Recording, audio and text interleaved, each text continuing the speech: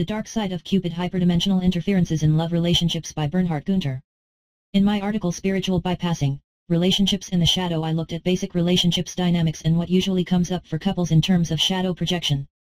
I shared my own experience and wrote about the necessity of psychological education and healing as well as the danger of spiritual bypassing when we use spiritual and esoteric concepts to bypass basic psychological work and avoid doing deeper work within ourselves. In that article I also mentioned this http colon slash slash veilofreality.com slash 2014 slash 11 slash 22 slash the hyphen dark hyphen side hyphen of hyphen cupid hyphen hyperdimensional hyphen interferences hyphen in hyphen love hyphen relationships. Readers of my blog know that there are forces affecting our planet, the hyperdimensional realm. There is the issue of genetic psychopathy, the question of the soul and that we are not all the same inside and not all of us have the ability to activate the higher centers. As mentioned before, these are very complex topics that need careful study and consideration. Then there are spirit attachments, which can alter personalities from subtle to very severe. There is also the possibility of higher density souls that have incarnated in this time and age with a certain mission profile, who have a very hard time adapting to this physical experience. Modern psychotherapy doesn't acknowledge the possibility of psychic attack and hyperdimensional forces working through us. Most people still have a very anthropocentric worldview. Anyone who tries to awaken from the hypnosis humanity is under will be met with resistance and attack which can come through our own minds or working through people close to us, draining us, distracting us, and sabotaging any attempt to escape the matrix. There are a thousand things which prevent a man from awakening, which keep him in the power of his dreams. In order to act consciously with the intention of awakening, it is necessary to know the nature of the forces which keep man in a state of sleep. First of all it must be realized that the sleep in which man exists is not normal but hypnotic sleep. Man is hypnotized and this hypnotic state is continually maintained and strengthened in him. One would think that there are forces for whom it is useful and profitable to keep man in a hypnotic state and prevent him from seeing the truth and understanding his position. G. I. Gurdjieff. This blog will address these topics in more depth, especially hyperdimensional interference in love relationships, orchestrated relationships through alien entities, as well as psychic attacks and spirit attachments. It's a topic that has been on my mind for some years and wanted to write about it for a while. Having had these kind of experiences in my own life and having done more research into it I realize more and more how many people may actually dealing with these kind of attacks, set UPS, and interferences. This topic is way outside the mainstream and not even now fully acknowledged or understood in the alternative media and many popular conscious movements. Most often it is ridiculed, misunderstood, or denied like the topic of UFOs and alien abductions by people who haven't researched these topics in depth. I will refer to past blogs and films that have explored these fringe topics before. If you are not familiar with them I recommend reading slash watching them as well and also check out the resources and citations within them. There are also many hyperlinks to books and resources for further study. UFOs, aliens, and the question of contact. Organic portal soulless humans. Wanderers, purpose, and esoteric work during this time of transition. Hyperdimensional realities. There is more to our reality than our five senses can perceive. We are not God's ultimate creation, nor at the peak on the evolutionary ladder. Our reality is embedded in a complex system of unseen worlds and controlled by denizens of higher reality. The forces at work are not all good and we're not on top of the food chain. Food doesn't have to be physical and certain beings feed off of our emotions and energy, predominantly chaos, wars, distorted sexual energy, emotional turmoil, and fear, which they initiate and create working through us. Various ancient esoteric teachings talk about a hyperdimensional matrix control system, HMCS, each in their own way, that has influenced and controlled humanity for millennia. Don Juan in Castaneda's The Active Side of Infinity called it the topic of all topics, speaking of a cosmic predator that uses man as food.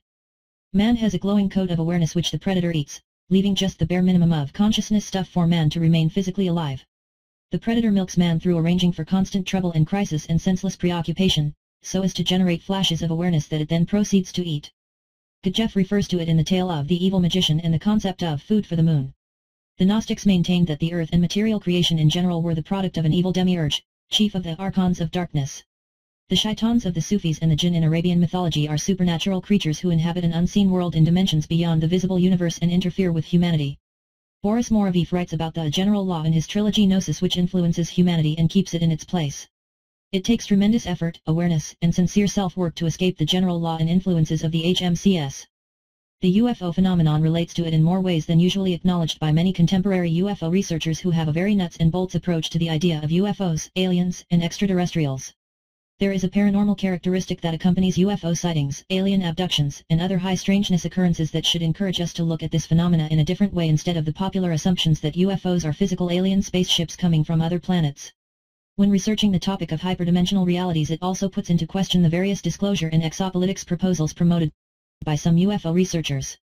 There is a lot of disinformation surrounding that topic and it is interesting to note that attempts to reveal the hyperdimensional aspect of our reality are often ignored, attacked, and ridiculed, even more so than the nuts and bolts scenario. However, in light of the ancient esoteric teachings it all makes sense, since the HMCS is trying to conceal exactly that, hyperdimensional realities and the beings inhabiting them who have influenced and controlled humanity for eons.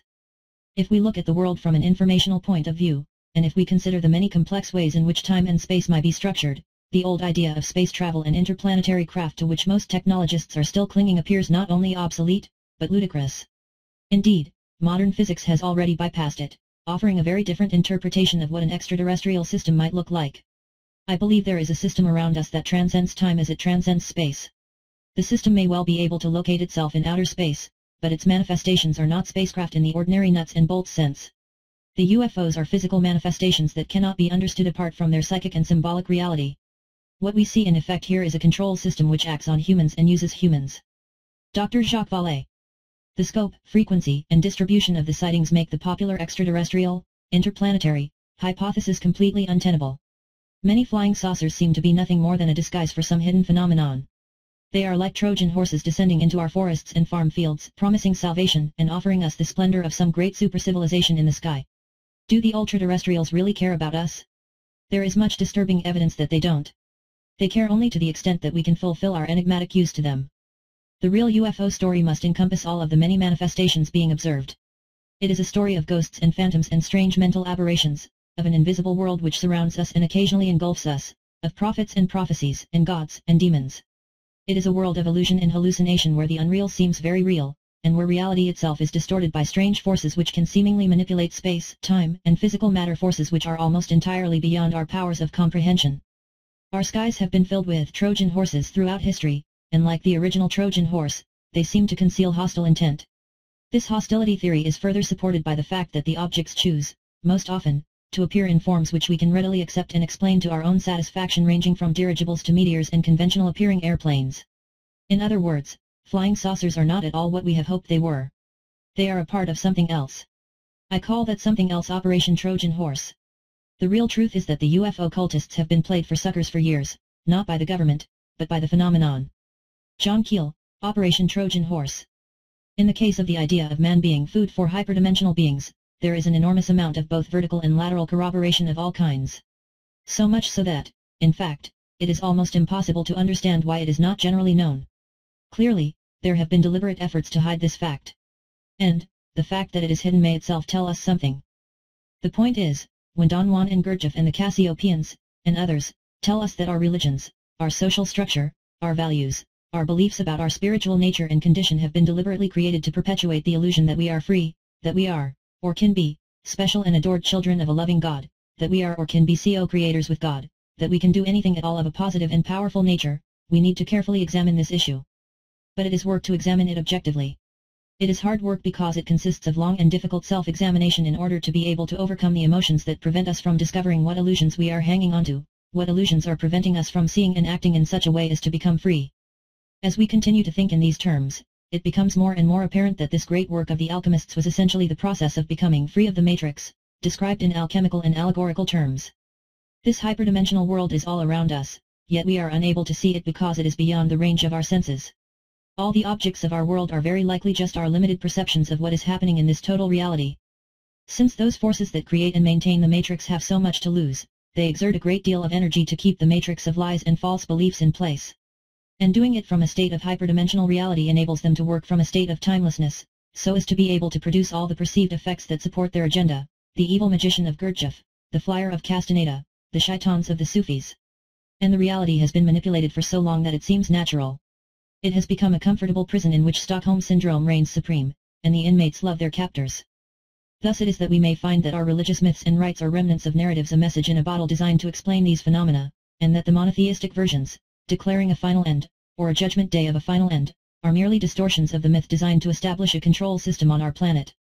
These distortions are beneficial to those who seek power and wealth, who are under the control of archetypal forces of another realm of which our own reality is but a shadow or a reflection. Let me reiterate, I do not mean, here, to suggest that this other realm is astral or ephemeral or non-material. I am suggesting that it is an intermediate realm of paraphysical, hyperdimensional beings whose existence and nature has been carefully concealed from us for millennia for a reason that is not to our benefit. And as we have learned from Jesus, Gurdjieff, and the Gnostic Sufis, Castaneda, and the Cassiopeans, the rules of this world in which we live were set up and are controlled by this STS, service to self, hierarchy and have been for a very long time. Each and every time the revelation of this control system is attempted, the matrix goes into overdrive to destroy it. And it is clear that this is the present situation, it is in seeing the unseen that we become aware of higher levels of being, it is in ordinary human interactions that we experience the battles between the forces of STS, service to self, and STO, service to others. And it is most definitely this factor that the matrix control system vigorously attempts to conceal. In other words, we are not just talking about a petty dispute, we are talking about a battle of forces at other levels, manifesting as always in human dynamics. Laura Knight The Secret History of the World. The Alien Love Bite. Eve Lorgen, Ma, is a UFO slash abduction researcher who started her work in the alien abduction field while earning her master's degree in counseling psychology in 1992. She specifies an anomalous trauma which is defined as traumatic events that are out of the normal range of human experience.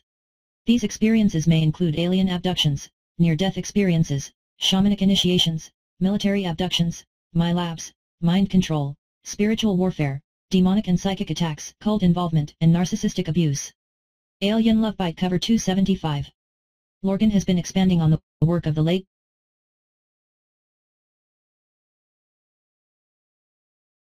Dr. Carla Turner, who was a pioneer in alien abduction research. An abductee herself, Turner published three books, Into the Fringe, 1992, Taken, 1994, and Masquerade of Angels, 1994. Dr. Turner was the first person in the UFO community to point out the many anomalous experiences of abductees which many other researchers ignored or denied, only focusing on a nuts and bolts approach of the abduction phenomenon. For many years it was assumed that these aliens just abduct people to examine them, creating a hybrid race, or even claiming that abductions are positive and the aliens help us evolve that way. Dr. Turner found out that there are very disturbing aspects of the abduction phenomena with aliens implanting false memories into abductees, hiding the truth of what actually had happened. The evidence in her meticulous research shows that aliens harvest from us in a number of ways, emotionally and energetically as well as physically. Dr. Turner's work is featured in our film UFOs, Aliens, and the Question of Contact and you can also read a review of her work here. Dr. Carla Turner died of cancer on January 10, 1996, after being threatened for her work. She was just 48. Since then, several other people involved in UFO investigation have also experienced threats followed by highly unusual cancers. Humans have a deep need to believe in the power of good. We need for the aliens to be a good force, since we feel so helpless in their presence. And we need for some superior force to offer us a hope of salvation, both personally and globally, when we consider the sorry state of the world. I think the aliens know this about us they know that we want and hope for them to be benevolent creatures and they use our desire for goodness to manipulate us. What better way to gain our cooperation than to tell us that the things they are doing are for our own good? And it becomes clear from these details that the beings who are doing such things can't be seen as spiritually enlightened, with the best interest of the human race in mind. Something else is going on, something far more painful and frightening, in many, many abduction encounters. As to researchers who claim that the ETs are here to help us evolve some higher consciousness or that they are here for some other positive purpose saving our plant, promoting world peace, etc. I challenge those researchers to incorporate anomalous data into this view. Theories are starting places for research, not proven conclusions, and UFO researchers must be willing to expand and alter their pet theories according to the data they uncover. It would be wonderful if we could shape ET experiences into something positive, but until the details of abduction encounters all the details are given serious consideration, I think it's dangerous to cling to theories that ignore data that will not fit. We owe it to ourselves to seek the whole truth. No matter what the truth ultimately proves to be, we have to go for it. I mean without it we're like children playing with shadows and we're ignorant and we're certainly unempowered to deal with and confront whatever the real entities are behind this masquerade. To take it all at face value is foolish.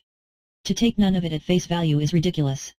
Investigations into this field, there cannot be anything more important for us to be doing right now than to dig past our wishes, dig past our fears and dig for objective reality and understanding.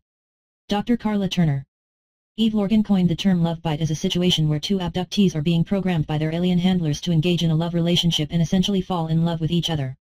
In her book The Love Bite, Alien Interference in Human Love Relationships Lorgen explores the effects of the love bite which can range from simple breakups of platonic relationships, to violent divorces, and from puppy love to sudden urges to marry a complete stranger. Through several fascinating case histories, Lorgen demonstrates how the alien beings are orchestrating these relationships and dramas for their own agenda. Most often this happens with two individuals who live far away from each other, each being seated with the image of the partner they are supposed to be with. A strong longing to meet the other person, telepathic connections, mystical experiences, having dreams of each other and orchestrated synchronicities through the alien handlers eventually bring those two people together. The sense of having met one soulmate or twin flame is very strong. It seems like magic and straight out of a fairy tale, having found the one. Both feel like they have known each other for a long time, even assuming a past life connection. The sexual connection is also very strong with out-of-this-world sex, creating an energetic bond and hormonal rush which imprints the idea that this is meant to happen even more. It is love at first sight and a love obsession follows. One or both partners may even leave their job, their spouse, and family and move away just to be with the other person. Then, after a period of being together, one person all of a sudden switches off and becomes emotionally unavailable, leaving the other's person in a state of unrequited love. This results in intense emotional turmoil and suffering for the love-obsessed person who still feels very bonded to the person who suddenly switched off. Suicidal tendencies, mental and physical exhaustion or even illness are the result. This may switch back and forth as well, when the love-obsessed person all of a sudden turns off emotionally and the other person who previously shut down is being targeted with the love bite again and feels deeply attached to the other person, resulting in more emotional turmoil. I did not want to marry the person who became my first wife, yet I had no control over the decision. Before we were married, we were jointly abducted and subjected to severe programming. The results brought no happiness to either of us. We both starved for love and companionship, even though we tried with all our might to find them. My son was also one of their subjects, and is miserable and lost. He is an artistic person with so many unknowable fears that he is paralyzed. I know of abductees murdered by mutilations. Reports of which are suppressed immediately and completely, by cancers that no physician has ever seen before, and by madness that has led to suicide. In my opinion, these acts were not caused by brothers of any sort. Elton Turner, husband of Dr. Carla Turner. One of the reasons for this scenario of why the aliens orchestrate such love-bite relationships is to feed off the emotional turmoil created. This ties into the idea of the HMCS and that humanity is food for higher density slash hyperdimensional beings who play with humans like figures on a chessboard. Food doesn't necessarily mean physical substance, but consciousness is food for higher density beings. Our emotions and, and sexual energy, triggered through these manipulations, is what these entities are feeding off and it seems they are trying to keep us in a frequency prison through genetic and other forms of manipulation, like implanting certain religious and New Age belief systems, so they can secure their food source. The alien abduction phenomenon is certainly not a psychological issue on part of the people being victims of it. It is not an illusion or mental disorder. It is very real and a sincere study into this topic shows this clearly. In order to fully grasp the topic of abductions, we need to let go of what we think is or is not possible, while watching our conditioned mind which tries to explain away such experiences with basic cultural approved psychology or New Age spirituality. It is very important to understand the high strangeness of the UFO and alien phenomena. People who haven't really looked into it carefully paint pictures too fast, asking how all this could be possible on such a grand scale without anyone really noticing. They don't realize that a lot of this is a non-physical phenomena, dealing with a higher intelligence life form that is able to pop in and out of 3D physicality, transcending time and space. They can insert thoughts, memories, emotions, create virtual realities and change appearances depending on the belief system of the abductee. This is further documented in Dr. Carla Turner's books Masquerade of Angels and Into the Fringe. We need to hold ourselves to facts in this field and I think that is extremely important. We should repeat that 10 times a day as we go through the work in this area. The problem of course with the abduction phenomena, as with a lot of ufology, is that the nature of the alien activity is designed deliberately to keep us from having much in the way of concrete evidence. Designed that way. It is not an accident. Dr. Carla Turner. Another disturbing factor that emerged from my research was that these beings, whether demons, vampires, or aliens, seem to have the ability to control our thoughts to a certain extent, our physical bodies, the weather, and even events in our lives. Many people reported that their abductors were benevolent beings, but when we consider all the factors of the big picture of the phenomena, it seems that such stories of benevolence may be misleading. Laura Knight The High Strangeness of Dimensions, Densities, and the Process of Alien Abductio equals N. They can play any scenario to make the abductee feel as if it is a spiritual experience, hence many contacts claim these aliens being are benevolent despite the fact that abductions happen against their free will to begin with. As terrifying as this may all sound, we also have to understand that we are more powerful than we think we are. It's a spiritual war and our weapons to defend and protect ourselves are knowledge and awareness. In fact, the deception lies in these entities making us believe that we are powerless and that we can't do anything about it. I think we need to recognize that deceptions are employed at almost every level of this interaction to keep abductees from knowing about the actual events and the actual entities involved in these encounters.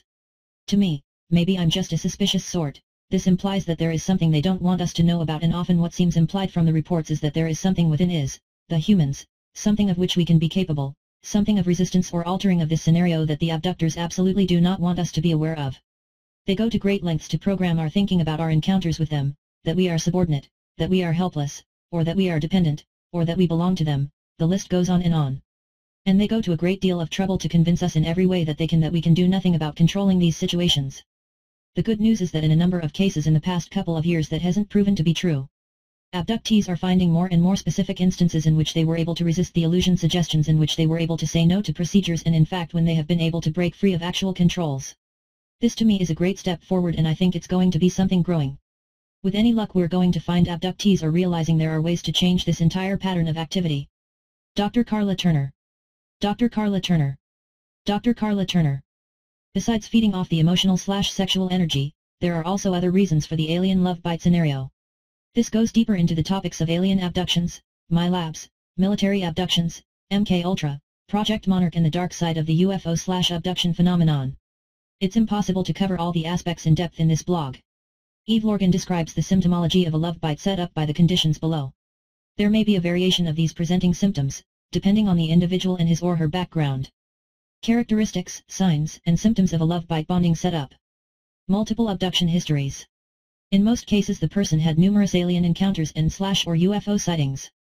In a few cases the targeted love bite partner did not realize him slash herself to be an abductee. Memories of bonding scenarios in abductions, vivid dreams, or virtual reality scenarios. Some have described it as a stage-managed dream where both partners are present in a bedroom scene setup where both individuals are being given telepathic messages to initiate contact, either on a verbal level or more physical sexual level. Oftentimes either partner appears to be in a tranced out or drugged state. Other stage-managed dreams and slash or abductions may have the partners in various situations as if they are being tested for their emotional compatibility or coerced into thinking that this person would make an ideal romantic mate. Supernatural events and synchronicities. Uncoincidental coincidences and psychic flashes concerning the targeted partner. Meeting the person seems to be set up in a supernatural way, such that the couple may believe their eventual union to be divinely arranged. A match made in heaven. A first meeting of the pre-bonded partner may set off a series of deja vu memories, flashback memories of previous abductions or dream-related bondings. Some have even described it as a body memory of having made love to that person before. One or both partners have a strong sense of having known the person before, as if they knew them all their lives or a strong soul connection. Paranormal and supernatural phenomena increases during the love bite setup. This may include empathic and even telepathic communication between the love bite pair. Spontaneous remote viewing images and mutually shared dreams. Other oddities may include the physical sensation of the partner's touch or energy field when the other partner is thinking or fantasizing about them. This is known as telesthesia, and is often experienced in a sexual way oftentimes in an altered state of consciousness. These conditions may propel either person to find the other, an obsession to find the dream partner. Strong emotional, mental, and even psychic connections with the bonded partner such that it sets up the conditions and desire for them to meet one another. The connection can be so strong that they have described it as a soul immersion in their beloved or literally having their souls joined to one another. Another byproduct is the amplification of psychic abilities in both OR one partner. Some MILAB abductees reported that the reason for the bonding was to amplify their psychic abilities, such as remote viewing to be later used in a secret mission or mind-controlled ops. Love obsession. A need for one partner or the other to be with them to the point of becoming infatuated. This includes the need to meet the person, even if it is in secret, and having to hear the person's voice on the phone, sometimes calling the person daily or several times a day. Just hearing the targeted partner's voice may have a calming effect on the obsessed lover. Extreme anxiety may be felt if the obsessed person cannot hear that person's voice or see them somehow. The obsessed partner usually feels love at first sight and may lose all critical reasoning ability. Some have described it as having the compulsion to make sudden life decisions like moving away, changing jobs, getting divorced or going out of their way to do things for the targeted person. It has been compared to being under a love spell whenever the obsessed person hears their partner's voice. They may go to great lengths to please the person doing anything for them, even giving up their life for them. Switching off. One or the other partners becomes unplugged emotionally, leaving the other in a state of unrequited love. Usually the obsessed lover becomes painfully unrequited after the other partner loses interest, often right after abduction. It has been described as the psychic and emotional unplugging of the targeted partner. Unfortunately the obsessed lover still feels the strong psychic slash emotional connection, but the other switched off partner feels nothing, leaving the obsessed lover grieving. Or the conditions for the bonded lovers are such that it is impossible for them to consummate their strong love, such as both partners being married to others or living a great distance away. Emotional turmoil in the unrequited partner's life. These powerful emotions of love and grief may cause the person to be inspired with creative energy, so that they write poetry, music, or any other art form of creative inspiration. Conversely, the degree of emotional pain may throw the unrequited lover into suicidal tendencies, mental and physical exhaustion or illness. Profound mystical experiences may also be perceived during the time of increased emotional processing or periods of prayer. Increase in alien encounters during periods of high drama and emotional conflict. The alien encounters may also increase if the person gets involved in alternative sexual lifestyles or increased sexual activity especially if it's with the targeted love bite partner. Some have reported increases in reptilian activity with methamphetamine or crack cocaine abuse. Some abductees have reported the bonding experience to take place more than once, whereby they have been on both sides of the love bite, the obsessed unrequited end, or the non-unrequited end. When they are on the non-unrequited end, a platonic friendship may be engendered. Some heterosexuals have suddenly become obsessed with a homosexual where a drastic change in lifestyle occurs. There are variations to the love bite dramas, wherein, for example, two abductees are placed together perhaps for the purpose of having children together, and they may not go through all the stages in the above set of symptoms. Based on the number of love bite histories I have compiled, I have come to the conclusion that there are at least four reasons for these set UPS. Some of these may serve dual purposes. One for the aliens and the other for the cooperating human military or intelligence personnel involved with a particular abductee. In this instance, MILABs, or a faction of MK Ultra operatives under the abduction programs. The four basic reasons behind love bite relationships are 1. Genetic bloodline study or perpetuation of a particular trait useful for the aliens and slash or military intelligence or Illuminati-related group. For example high psi and dissociative ability. 2. Emotional soul harvesting of energies siphoned off the abductee for aliens, such as reptilians, dracos, or demonic powers accrued to human magicians. In cases where sexual manipulations are done, this sexual energy can be used in Montauk-type experiments for time travel or psi amplifications, or materializations.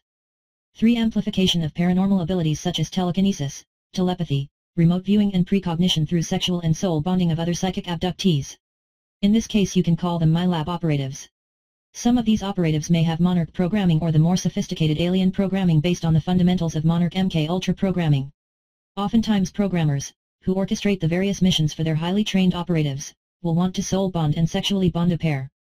This serves to keep the twinned operatives loyal to one another, and increase their performance. For example, when two operatives are so bonded to one another, they can telepathically transmit large amounts of information to one another, sometimes during sexual activity. If they love one another, they will also die for one another, taking greater risks for the success of a dangerous mission. For distraction and neutralization of troublesome abductees, or researchers, who are either breaking programming, whistleblowing, or getting too close to the truth. This may present itself as an abductee client that comes into work with a researcher, where a love affair ensues. Then the relationship may be an emotional roller coaster, or create chaos in the researcher's life distracting him or her from useful research. Or a sleeper operative abductee starts coming to a support group, wreaking chaos wherever they go, which may include a love bite set up with one of the members. It may result in dividing the support group, creating unnecessary enmity between abductees and researchers who could have shared insightful experiences. In these instances the setup serves to prevent useful information from reaching the public. The alien love bit scenario researched by Eve Lorgen relates only to love relationships between abductees. The question who is an abductee or not is not always easy to answer. There are the obvious abduction characteristics and symptoms which abduction researchers like Eve Lorgen, Carla Turner, David Jacobs, Barbara Bartholic, and others have identified over decades of research and working with abductees. Personally I've seen some UFOs here and there and even reptilian slash alien-like entities but nothing that would hint at a typical alien abduction, no abduction dreams, missing time, or any of that, well, as far as I'm aware of. I did have high strangeness situations in my life and what could be coined hyperdimensional interference in relationships as described above but nothing that I'm aware of hinting at an abduction. Having said that, many abductions are not that obvious and can only be retraced through hypnosis since the aliens seem to have an ability to mind control the abductee, erase memory, manipulate space and time, as well as implant certain thoughts, emotions, everything from bliss to indifference, and even false memories as opposed to what really went on in an abduction. This happens through the use of a hyperspace technology that makes our technology look like the Stone Age. Some abductions have been reported fully conscious without hypnosis and there are many similarities between the stories of thousands of reported abduction cases worldwide, independently showing a rather disturbing picture. Since most abductions are not remembered consciously, some abduction researchers believe that there are millions of abductions worldwide of people who have not the slightest idea that they had been abducted. Sometimes people only remember much later in life that something like an abduction could have occurred earlier in life. Abductions can start as early as infancy and can occur till late in life. Some people have been abducted hundreds of times. Many abductees are living in fear, not knowing when the next taking will happen, not being able to talk about it for obvious ridicule in the public. Many need to even hide these experiences from their families and friends, afraid of or being shamed or called crazy slash mental. However, the most disturbing part is the complete denial of this issue, not only in the mainstream scientific community, but especially in many progressive truth and New Age slash conscious movements. Most people have never researched this topic sincerely in depth. The topic of alien abductions is mostly treated as if it is non-existent or just laughed at and ridiculed. The Dark Side of Cupid Expanding on her work in The Love Bite, Eve Lorgen wrote a book called The Dark Side of Cupid Love Affairs, The Supernatural and Energy Vampirism in 2012, published by UFO historian Richard Dolan's Keyhole Publishing Company slash Richard Dolan Press. In this book she explores hyperdimensional interference in and setup of love relationships between people who are not necessarily abductees. I will be quoting extensively from her new book as well as sharing my own experiences in light of the dark side of Cupid. Dark side of Cupid. Rarely, if ever, is any attention placed on the supernatural within the context of human love relationships being orchestrated and interfered with. There are books about love relationships believed to be brought together by divine intervention and mystical tales of how Cupid's arrow magically brought together true soul mates. But it's generally within a positive framework of finding one's true love, twin flame, or soul mate. But what about love relationships that have the appearance of being a match made from heaven but instead end disastrously, as if a supernatural intelligence interlopes as Cupid? A counterfeit soulmate match. Could such a thing happen? The answer is yes and this is what I call the dark side of Cupid. Of all the anomalous experiences under investigation, those that stood out as being extraordinarily traumatic were those that involved love relationships whose onset appeared magical, as if an unseen force had been at work forging powerful psychic connections, only to cascade into a spiral of emotionally draining dramas. I examine unusual love relationships in which something magical seemed to happen. But, instead of becoming a delightful and fulfilling soulmate experience, the person was either psychically drained or thrown into an emotionally manipulated, high-drama relationship that had the earmarks of supernatural interference. If I had not experienced this myself, or counseled so many others involving these types of love relationships, I would not have believed or even considered such an idea. But now I do. With the dark side of Cupid, my aim is to challenge the reader to enhance their awareness of the possibility of relationship interference, forged psychic connections and even soulmate counterfeiting. Finding one's soulmate and happiness in love requires emotional maturity and spiritual wisdom. We can retain the magic, wonder, and unity of true love, but to do so, we must be discerning. In my experience, awareness and wisdom had come with a price. This pearl of wisdom I offer to you, in the hope that others do not have to pay such a heavy price of pain and emotional suffering on their journey to find true love. The truth is, what we lack in awareness can and does hurt us. And so let us be wise in matters of love. Needless to say, the alien love bite hypothesis is not something easily proven, but it became the name and definition of a type of experience in which its victims felt as if a powerful love match seemed to be set up elsewhere by a supernatural puppet master pulling some very potent emotional strings. I want to address one issue before going further. Whenever I bring up this topic some people claim that there is always emotional drama in relationships at times in various degrees and people already tend to blame their partner, parents, and others for their problems. They claim that bringing up the idea of invisible beings causing relationships dramas and interfering with relationships gives people even more excuse to blame others and outside forces, not taking responsibility for their own problems and issues. For the most part this assessment is based on not understanding the topic of all topics in more depth. I also pointed out in my article Spiritual Bypassing, Relationships in the Shadow that is crucial to take responsibility for issues that come up in relationships, understanding shadow projection, childhood wounding, narcissistic wounding and basic psychology in general where we play out unconscious parts of our father slash mother image we are not aware of or we try to get needs met from a partner which we didn't get as children from our parents. So basic psychological work and taking responsibility is absolutely needed and necessary. This is not about blaming but understanding that there is more to reality than we are aware of and have been told. However, what I didn't mention in my blog on relationships and the shadow, but have in other blogs and also in the film Love, Reality, and the Time of Transition, is that not everything negative in the world or in our lives is a manifestation of our shadow material, nor do we attract everything with our thoughts slash emotions. As mentioned above, we are not the peak of God's creation and so special and holy that nothing other than ourselves would harm, control or manipulate us. It's actually quite anthropocentric to think that way. We don't do everything to ourselves. It's not about blaming but getting out of our self-centered view of reality and the universe. There are other forces that affect us more than most of us are aware of, independently from our own shadow material. There are limitations when looking at it all through the psychology of Jungian shadow projection even though it does contain a lot of truth and is very useful and important in our self-work and working on relationship issues. The learning never stops and humanity still has much to confront and learn about that may require a whole new understanding of reality. There is always more to learn and find out that requires an adjustment and new understanding, expanding our view and understanding of reality. It is what raising consciousness implies. People who are stuck in one idea or teaching and try to explain everything through it are building their own limited reality box. This relates to philosophy, spirituality, psychology, astrology, science, or any religion, east and west, where many experts in any of these systems are only looking through one lens, many of them distorted slash false to begin with, not realizing that this approach can easily lead to distortion and a tunnel vision. It can also become an egotistical point of pride preventing that person to admit to him slash herself that there is maybe more to the story which one hasn't considered before, especially when their career depends on it and they have an image to sell and live up to. Some people who contact me keep this part of their lives secret for years, often a decade or more. The alien love bite experience leaves its victims feeling bewildered, emotionally drained, and betrayed not only by their alien visitors, if they know themselves to be abductees, but by the unseen entities that magically arrange the love partnership. It is as if the aliens or whoever these cupid interlopers are leave their victims feeling so profoundly affected that words can barely describe the emotional and psychic pain must endure. Love bite experiences are largely disbelieved, even ridiculed by mainstream media as well as by most psychotherapists and medical professionals. Adding insult to injury, many of their peers within the truth-seeking and disclosure community often ostracize them, as ironic as it sounds. The alien love bite theory and the embarrassingly painful effects do not bode well for the popular ufological disclosure movement, exopolitics theories, and space brothers are here to save us mentality prevalent in the New Age and UFO community. No. Not at all. Nor has it gained acceptance within mainstream psychology circles. This means that those who experience the trauma of alien abductions and the love bite drama are stranded between a rock and a hard place, isolated in a no man's land where secrecy remains the rule rather than the exception. If disclosure of all things UFO, extraterrestrial, and related secrets ever happens, then the alien love bite and especially the dark side of Cupid must be part of this.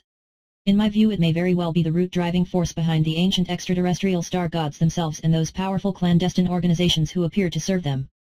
I've studied countless relationship self-help books dealing with toxic relationships, trauma and addictions, emotional vampires, dangerous men, and psychopathology. And yet none of these books ever recognize or mention anything near to what I am seeing. None address the paranormal element of orchestration and interference in conjunction with being drained emotionally, in a powerfully connected love relationship that doesn't end well.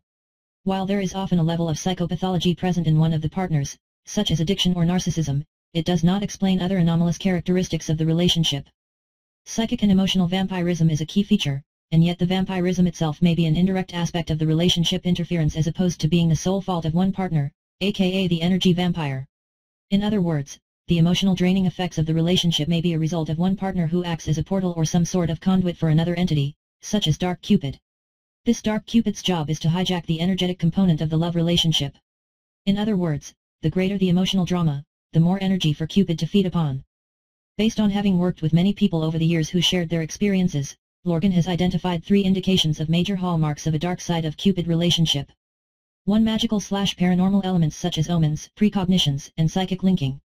2. Psychic draining, or vampirism, and slash or extreme emotional highs and lows. 3. The emotional manipulation and slash or psychopathology factor. At least two of the three indicators have been present in all cases, mostly all three of them. She calls them the unholy triad of symptomatology of the dark side of Cupid. In the first category, magical and supernatural elements happen right before and during the love affair. Synchronicities, vivid slash precognitive dreams, feelings of deja vu usually occur. It seems as if it's meant to be. Synchronicity has been coined by Carl Jung as being an acausal connecting principle, that is a pattern of connection that is not explained by causality, or in other words, a meaningful coincidence. Many of us have experienced synchronicity in our personal lives not only related to love relationships. For the most part we feel that these synchronicities are positive in nature, as if the universe is helping to be in the right situation at the right time without expecting it, or we may come across just the right book or article which helps us to get more insight around a situation we are in. I have experienced these positive synchronicities many times. However, what most people don't know is that synchronicities can be orchestrated by higher dimensional alien beings that look initially positive but were a bait to get us into our certain situation out of our own free will for their own agenda. So while there can be definitely synchronicities that lead us to meet the right person without interference, there are orchestrated synchronicities in the love bite slash dark cupid scenario. These synchronicities target our wishful thinking, blind spots, wounds, which are different for each of us, in form of temptation or magical meeting with one's perceived soulmate but is in actuality a counterfeit soulmate slash twin flame as Lorgen called it. Finding one's true soulmate and happiness in love requires emotional maturity slash intelligence, awareness, discernment, and spiritual wisdom. The whole idea of a soulmate or twin flame has also become very distorted in New Age circles. Speaking of using baits to get us into situations, which are not what we assume they are at first, out of our own free will for the alien's own agenda, it is important to understand what Michael Topper wrote below. This goes even beyond the love bite scenario but relates to the global matrix control system and hyperdimensional manipulation in general. This is drawn from a series of articles written by a man named Michael Topper, who uses the nom de plume Marshal Telemachus or even Mother Teresu and others. After producing a great deal of material, most of which was published by Val Valerian in his series of Matrix books, he sort of disappeared from the scene after being under serious attack from the forces he exposed. His body of work and released material is complex, and the complex language usage at times makes it almost inaccessible to the average reader. This seems to be intended, because it is hard work to read it. There is no free lunch in the universe. In this series, he gives away incredible secrets of reality, but you still have to work to get it. 109509 underscore 102026074079339990 underscore 1132706970 underscore n. In the higher densities, the name of the game is consciousness. This simply means that the higher densities of existence, whether positive or negative in orientation, all recognize that the business of all being and existence everywhere is always that of consciousness, becoming more and more aware. Awareness is related to density of consciousness, so to say. The STS, service to self, way of achieving density of consciousness is to gain weight by assimilation of other consciousness units. This is generally promoted as all is one and refers to evil as a rebellion or a fault or something that will ultimately be done away with. STO, service to others, on the other hand sees gaining weight in a different way. It sees that an acknowledgement of the consciousness of other self is equal to its own consciousness, in spite of completely different manifestation of that being, is the way to network the consciousness so that the whole is greater than the sum of the parts. The difference is that the STO guys recognize consciousness as being an integrative activity of mutual networking and interdependence because they view all others as self, even if they are different, and therefore seek to help and assist because the other is self in an absolute internal sense. In this way, absolute consciousness, or God is glorified by a marvelous diversity of being if you wish to put it in those terms. The negative guys, on the other hand, play the game in terms of domination, subjugation, and absorption of other consciousnesses into one. But, they too, Understand that the rules of the game posit that in order for them to truly absorb into their being these other consciousnesses, that the other must choose to become part of their self-aggrandizement. An unwilling food is, in essence, not nutritious so to say. If the consciousness does not choose, it becomes a poison to the consciousness that seeks to eat it. And so they must promote oneness in a very particular way. Note that both sides acknowledge oneness, but in very different ways. So, we have to understand here that the true negative realm agenda is to eat consciousness. So, this actually prevents an overt takeover in literal, physical terms. If an invasion was detected, this would mean that the veil would be lifted and all would see the man behind the curtain and would be disgusted and turn away.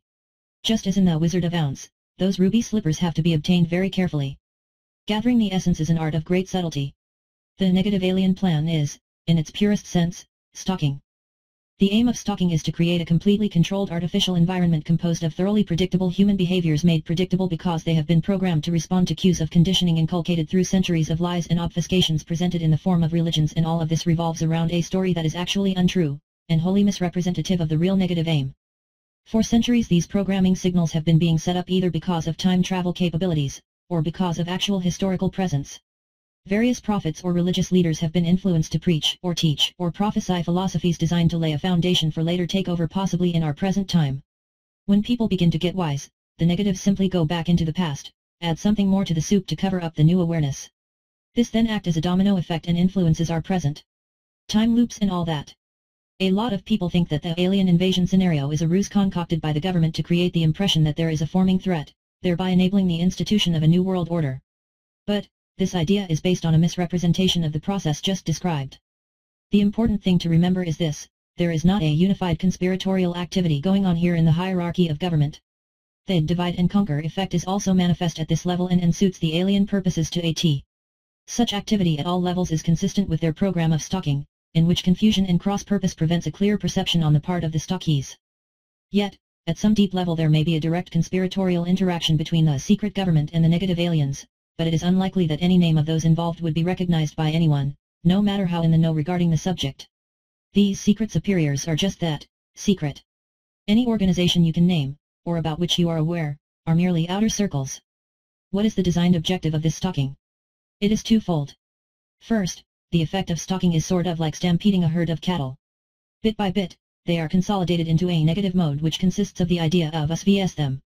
Even though, on the surface, it may seem that this mode is positive or STO, i.e. save the world because it is wrong or flawed, or blighted with original sin or whatever, the very fact that it is formed in the dominator mode of perceiving salvation outside, means that it can more easily be taken over body, mind, and soul at a level that is unseen and unseeable. In other words, Satan can and most often does appear as an angel of light. It is only at the lower levels of the power structure that many still believe they are playing out the basic antagonism and self-protection roles. They believe that sending love and light to those in need is appropriate, without realizing that this activity is predicated upon a deep belief that there is something wrong, in error, in rebellion, and thus becomes again, us vs them. There is evidence that extensive implant technology may be used to ensure influenced obedience, yet, a degree of freedom must be conserved through the consciousness due to the essential fact that the valued commodity is consciousness. A totally drugged, surgically altered, and thoroughly programmed psyche is only good for robotic slave service, and this may also be going on also, by the way.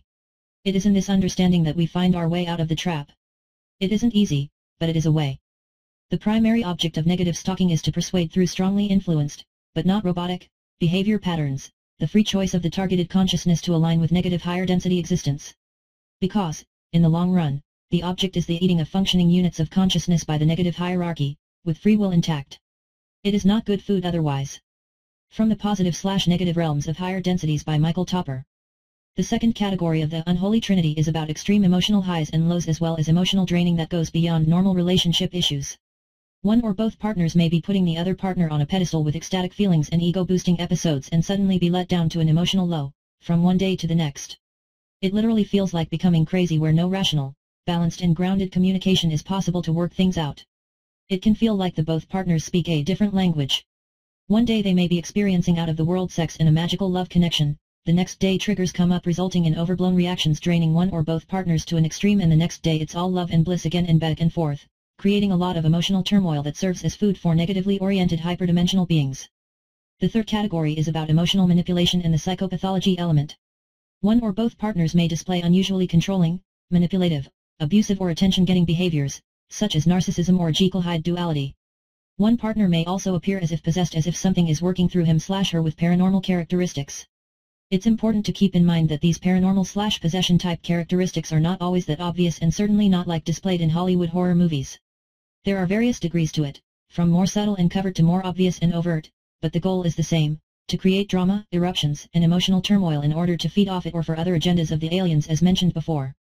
The issues that come up for a couple in a dark side of Cupid relationship may have characteristics of BPD, borderline personality disorder, PTSD, bipolar disorder, narcissistic wounding or other personality disorders and psychological issues, however, as I'll talk about later on in more depth, these psychological disorders may just be the manifestation slash symptoms of a love bite. People who have no reference or understand the dark side of Cupid slash love bite scenario usually try to explain what is happening only through the framework of mainstream psychology when in fact something else may be going on. It's also important to see the whole picture of a possible love bite relationship, especially the paranormal aspect. This quote by LKJ mentioned above is important to keep in mind. We are not just talking about a petty dispute, we are talking about a battle of forces at other levels, manifesting as always in human dynamics. Eve Lorgen gives a general description of how a love bite slash dark side of Cupid love relationship usually looks like. Are you on the dark side of Cupid's hit list? When it feels like a match made in heaven. The meeting could be accidental, in an unusual place or situation for you. But somehow, something magically happens that creates an opportunity. Perhaps you feel a premonition, energetic feelings that seems to happen out of the blue. Then your eyes meet. There is a sense of familiarity, as if you already know this strange new person, perhaps from another place or time. Yet, you can't seem to place it. The locked gaze, the sensation of butterflies swirling in your stomach, the feeling of excitement, anxiety, and perhaps even danger all lurk inside you. You can barely contain the sense that something big is happening. Maybe he or she asks you something that was on your mind, just as you were going to speak it. Have we met before? You seem familiar. A few moments pass, and maybe you experience a feeling of deja vu. Perhaps you recall a recent dream when you saw the face of your could-be lover. He or she is wearing the same color that appeared in your dream, or perhaps appears in a familiar scene. You now feel that the dream was some sort of divine precognitive foreshadowing. Your dream lover has come to life. Your senses feel heightened, more alive. Those zingy, tingly, warm, and fuzzy feelings in your body seem to be resonating with this other person. Did you just meet the one? Your soul mate? Is this a sign that this person is about to enter center stage in your life? You exchange phone numbers and email. Next time you meet, you talk about things that you thought no one would ever really share with you, much less understand. You seem to have so much in common. Perhaps the person is not normally your type, yet inexplicably you share a powerful connection. The erotic fantasies begin. Somehow they feel so much more real. Why is that? From deep inside, however, you feel a subtle hint of push-pull resistance. Your inner voice tries to check in with you, but you squash it like a bug. Your logical mind may question all this, but the lonely part of you can't stop wanting excitement, a rescue from that hopeless feeling that you'll never have true love and will always settle for less. You want to experience passion and love that you've never really known before. You fight both sides of yourself as if you've been split into two people. Confusion sets in, and you just can't stop thinking about that person. The love connection begins and Cupid's drama unfolds. A series of magical phone calls, texting, emailing, and meetings begin. Perhaps you are compelled to drive long distances or even go across the country to meet with your newfound lover-to-be. The energies of excitement build, and you can't stop thinking about him or her, and especially about when you can have more time together to really connect, touch, merge. You never felt such a powerful connection with someone, it's almost telepathic with supernatural overtones. You finish each other's sentences, buy similar things at the store, find yourself wearing the same colors, and even eating the same food when not in each other's presence, and at the same times. That first kiss sends electrical thrills that zip right down to your erogenous zones. It's almost like you've been zapped by Cupid's arrow. You kiss again, deeply. It happens so easily, so fast. Sex feels so natural and connected. You find yourself doing things you didn't do with other partners. You feel less inhibited and the creative juices flow. You take greater risks that may be out of character for you. You push away confusion and the inner red flag voice flailing to be heard because, you say to yourself, yes. I'm going to follow my heart. I want passion.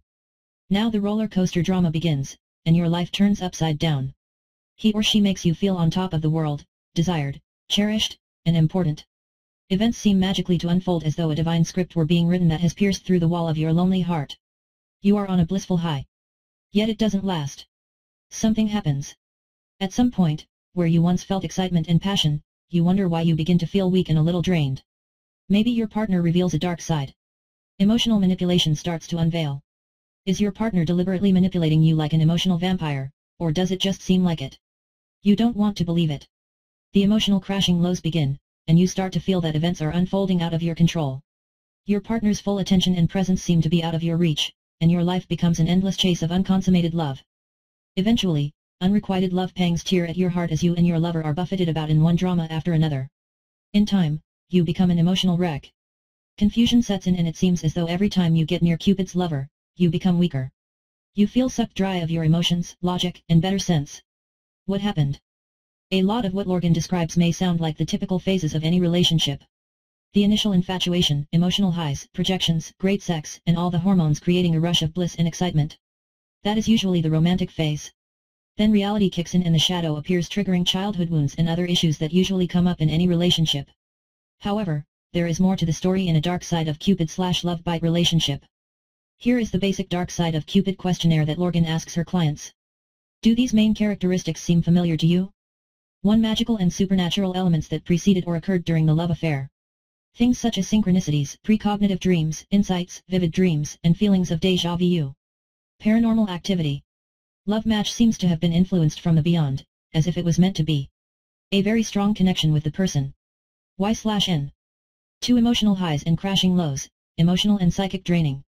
You may have been perceived on a pedestal with ecstatic feelings, then were suddenly let down to an emotional low, either by the partner or through events out of your control. Lots of drama. Y slash N. 3. Emotional manipulation and the psychopathology element. Did your partner have unusually controlling, manipulative or abusive and attention-getting behaviors such as A. Histrionic, drama king slash queen, endless talking, chatter, attention seeker. Y slash N. B. Addictive and compulsive, drugs, alcohol, sex, work, sports. Y slash N. C. Controlling, jealous, emotional manipulator, passive aggressive. Y slash N. D. Narcissistic, lack of empathy, exaggerated sense of entitlement, praise seeking, needs constant attention and slash or superiority complex. Y slash N. E. Passive, yes but whiner victim, very needy. Y slash N. F. Extreme Narcissist, or Dr. Jekyll slash Mr. Hyde duality, demonic possession, or hosting. Supernatural qualities, like black magic, hypnotic control of victim as if you are under a spell. Y slash N. Personal questions category. Category 1, Magical and paranormal elements. A. What kinds of things happened before or in the initial phases of the relationship that led you to believe that this was perhaps out of the ordinary? Things such as vivid dreams, astral connecting with the partner, synchronicities, a stronger psychic link with the partner than was normally experienced with anyone, etc. Explain. B. Did the relationship seem to be manipulated or orchestrated from unseen intelligences, and make you feel that you were under a spell? C. How did you feel the connection, did you have a greater degree of passion, and did you feel this to be more than just sexual? Did your heart area, solar plexus, or other areas feel distinctly different? Describe. D. Did you experience a heightened degree of psychic sensitivity or empathy with your partner or other people during this love drama? E. Did you or your partner witness any ghostly presences, spirits, or alien entities during or immediately preceding the love relationship? F. Did you or your partner experience a love obsession that was not characteristic for you or them? Category 2. Emotional highs, lows, drama, emotional draining. A. Were you emotionally drained after a certain point, and did this affect you physically, like getting ill or losing a lot of weight? B. Did events happen out of your control that kept you both from being able to meet or consummate the relationship or do more things together? C. Did you find yourself thinking or doing things that was out of character for you when around this partner or even afterwards? Taking greater risks, for example. D. Did you or your partner suddenly become emotionally switched off and uninterested for no apparent reason or was there a reason if this happened? E. How long did it take you to heal and get over this love relationship? How long did the relationship last? Category 3 Emotional manipulation and the psychopathology element. A. Do you believe your partner was a psychopath, witch, demon-influenced or possibly a possessed individual? B. What kinds of behaviors did your partner do that you felt were emotionally manipulative, inflicting guilt, shame or that you are less than or bad explain with an example. Controlling or abusive. Overt or passive-aggressive. Explain a typical scene or interaction. I want to say a little more about the hallmarks of the dark side of Cupid experience. When examined from afar, the beginnings of the love drama appear positive, and perhaps within the normal range of human experience. But when delving deeper into the dynamics of the love match, I noticed that the experience held a greater degree of a magical reality. Overtones of extrasensory perception and paranormal elements manifested in ways that had not normally been experienced in the lovers' lives or in those of most people. Obviously there are many variations and degrees of the symptoms listed and not all have to apply, but if the majority fits then it may indeed be a dark side of Cupid encounter. It all depends on each individual and his slash her personal history as well. As said above, this is just a basic questionnaire. It takes deeper introspection, recapitulation, and objectivity to see all the red flags which people tend to rationalize away, as I did as well in my experiences at first. Most often this is not possible until after the relationship is over and one is in a more balanced emotional state to understand what actually had happened. There are various vulnerability factors, as Lorgen calls them, which make people more likely to become a victim of the dark cupid, although it still can happen to anyone as she pointed out as well. The most common two factors of possibly being a target for a love bite or dark side of Cupid are engagement in alternative media, research, conspiracy, and paranormal and spirituality being 99% of the case studies by Eve Lorgen and involvement in caretaking and nurturing professions, 71%. Engagement in alternative media, research, conspiracy, and paranormal and spirituality. All but one respondent who filled out my dark side of Cupid questionnaire was a follower of alternative media, paranormal, conspiracy, and slash or spirituality interests. These were individuals who were actively engaged in becoming aware of what is going on in the world and cosmos, including higher consciousness explorations. These people tended to do a lot of internet research and radio talk show involvement, and had interests in spirituality and the paranormal. All persons were intelligent, outside-the-box thinkers, who challenged the status quo of mainstream media, education, politics, and religion. Some were whistleblowers. Many of them had psychic abilities and a greater awareness on social and esoteric levels. One may ask, how can this be a vulnerability factor? If lack of awareness were a major vulnerability factor why would aware people be so vulnerable? Involvement in caretaking and nurturing professions. Over two-thirds of the dark side of Cupid cases involved people in careers such as teaching, counseling, nursing, and psychic intuitive work. These individuals have a tendency for a high empathy factor, and are more giving in nature. As a result, they sometimes have greater difficulty setting firmer boundaries with user and taker partners, friends, and co-workers. Maybe now is a good moment to share some of my experiences, especially since I fit right into those two main categories. My quest for truth, questioning the world we live in and getting interested in the paranormal, conspiracies, spirituality and other topics outside the box of the status started about 20 years ago. Eight years ago I started to write about these topics on my blog and social media outlets. Around that time I also started working full-time as a self-employed bodyworker slash massage therapist. Before that my relationships were pretty normal even if they didn't work out. No high emotional drama, no paranormal occurrences and no over-the-top magical synchronicities. Even in retrospect I don't see anything that could have hinted at a dark side of Cupid love relationship. I haven't had many relationships and have been more single in my life than being in relationship. I never felt that I had fear of intimacy or fear of love relationships in general. Back then I was just very involved and focused on my band in my musician years and also the research I got into. So a couple of relationships came and went but without any drama, paranormal activity, lingering issues, or hard time to let go. All that changed once I got deeper into esoteric knowledge and especially into the topic of all topics, the UFO phenomenon, abductions, and the dark side of the alien topic, the hyperdimensional control and manipulation of humanity, which manifests itself in different ways throughout the secret history of the world based on the cultural context. This underlying hyperdimensional reality that is behind our history and how it extrudes itself into the historical timeline, and how you can observe these long historical events and see the movement of that hyperdimensional energy through the actions of human beings, through historical cycles, through the behavior of groups of people, through the manipulations. Things emerge, you know. Laura Knight Jadczyk. It all intensified around the time I was making the film UFOs, Aliens, and the question of contact with my friend Umberto Braga. During the making of the film we both experienced high strangeness events in our lives. Umberto started to get involved in a relationship that also had symptoms of love bite. He started to have dreams about abductions and even having has abduction-like experiences, waking up in the opposite direction of how he felt asleep with strange body marks, cuts, and scratches on his body. His relationship turned into a spiral downward with a lot of irrational behavior and emotional drama by the girl he was involved in. One day she literally just disappeared without a word or closure. It took him a long time to get over it. While we were making the film I also had a new female client coming to my studio for a massage session. It was someone I never met before and who had no idea about my research and topics I'm interested in besides bodywork. I usually check in with my clients before the session, asking how they are feeling, what is going in their lives and also inquire about their dreams to get a better assessment of where the person is at and how their emotional life and stress affects their body. The dream and experience this particular woman shared was a textbook alien abduction scenario. She told me that she had a dream in which a small creature appeared at her bed. She then woke up and felt a strange presence. She looked out of the window and saw a UFO taking off right behind her house. She told me that she had no idea what that meant and she also had no background knowledge or any interest in the topic of UFOs. The description of the entity she encountered was very similar to the typical gray alien creature. Obviously I had to be very external considerate and didn't mention anything about my research into this topic. After all I didn't know her at all and didn't want to freak her out. I just gave her some bodywork to help her get grounded since she also was going through a lot in her life, especially with regards to relationships. A week later she came again for another session. This time she shared more of her family history, telling me that her whole family, even her grandparents had strange encounters with aliens and UFO sightings. It seems to have been running in her family which is another big clue. Then she shared with me another dream she had after the first bodywork session. In this dream this alien being appeared again and told her that she had been reprogrammed. She had no idea what that meant and neither did I. Since we had established a good rapport and trust, I then suggested to her to look into UFO literature and see if she can find some similarities to her experiences. I also suggested to do more bodywork sessions to help her connect with her body more since the work did help her. She was out of touch with her body and seemed to disassociate a lot. She agreed and was looking forward to continue with the sessions. However, after that second session I never saw her or heard of her again. I have no idea why. Was she too freaked out about what she experienced and did it increase since she met me? Or was she reprogrammed to not engage with me anymore in order not to reveal to her what seems to be going on with her? I don't know.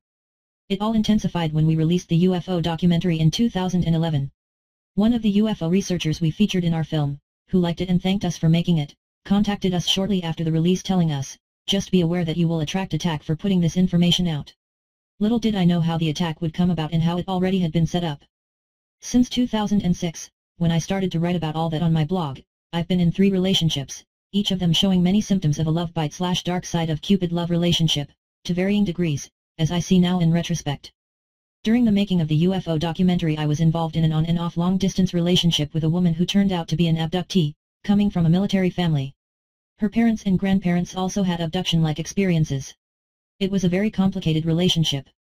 One part of me was very infatuated with her but another part knew that something was off and I shouldn't engage with her. She visited me periodically and we had a very strong sexual connection.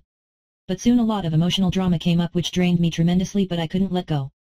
Even when she was gone I felt the strange but strong pull to see her, almost obsessive.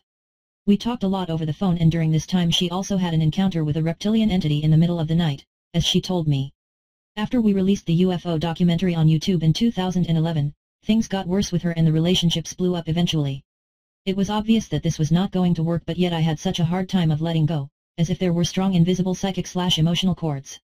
It took me several months to get over it which seemed way too long, considering that the relationship wasn't that long and we only saw each other of a total of one month based on all the visits. I was very emotionally drained and exhausted. My next relationship after that one lasted longer, about 1.5 years. I met this girl at a workshop I took at Esalen and felt intensely drawn to her. There was also a strong sense that I knew her. She seemed very familiar. Strange synchronicities also seemed to confirm that we were meant to be together. At the beginning it was intensely sensual and sexual. Both of us never experienced such a connection. I literally thought and felt I had met the one. There was no doubt in my mind, although there were red flags which I conveniently ignored or rationalized away, more on the topic of red flags later. After only two months of knowing each other she moved in with me which I even suggested to her. Looking back I can only shake my head at what I was thinking. Things started off nice and beautiful but soon it went downhill. A lot of issues and childhood wounds came up for me during this time as well as I wrote about in Spiritual Bypassing, Relationships in the Shadow. She had intense periods of anger outbreaks and breakdowns that left me stunned, emotionally drained, and extremely confused. After our breakup we even tried to work things out through therapy but it got worse. At one point she started to shame me about my work and what I do to the point that I went into a downward spiral of deep depression and even suicidal thoughts. I literally contemplated suicide and without the support of my good friends I would have not made it through it all. I even thought at one point to delete all the videos we made in this blog. I saw no sense of going on. The emotional pain was too much to bear. I also had a lot of pain in my solar plexus. It took me six months to recover from that and couldn't continue my work during that time, not being able to read or write. I even had to take time off from doing bodywork for a bit since I couldn't help others in the state I was in. Cupid's Treasure by Verna Catalatola Cupid's Treasure by Verna Catalatola You'd think that by now I would have had learned my lessons, but no, a year and a half later I got involved in another relationship that only lasted for a couple of months but had the love bite slash dark side of Cupid written all over even more. I want to make clear that none of what happened with this or the other relationships I mentioned is anyone's fault, as Eve Lorgen stresses as well. In retrospect it felt as if we were being pawns on a chessboard. So keep in mind that this is not about blame, nor about demonizing or anything personal as I share what happened which are the symptoms slash manifestations of the dark side of Cupid working through us for the most part, played like puppets on strings. I met this girl through Facebook, seemingly interested in the same things as I am. She was aware of my work and the films I had made since they came out, sharing them with many of her friends. One thing leads to the next and we started Skyping. Right away the first thing I notice is the strong sexual energy between us and so did she. I also noticed how she had a hard time expressing herself, and there wasn't really a, a strong intellectual connection. But I ignored this since I felt very drawn to her for some reason and so did she to me. We started to flirt and even exchanged all kinds of cute emoticons on Facebook which I never did before.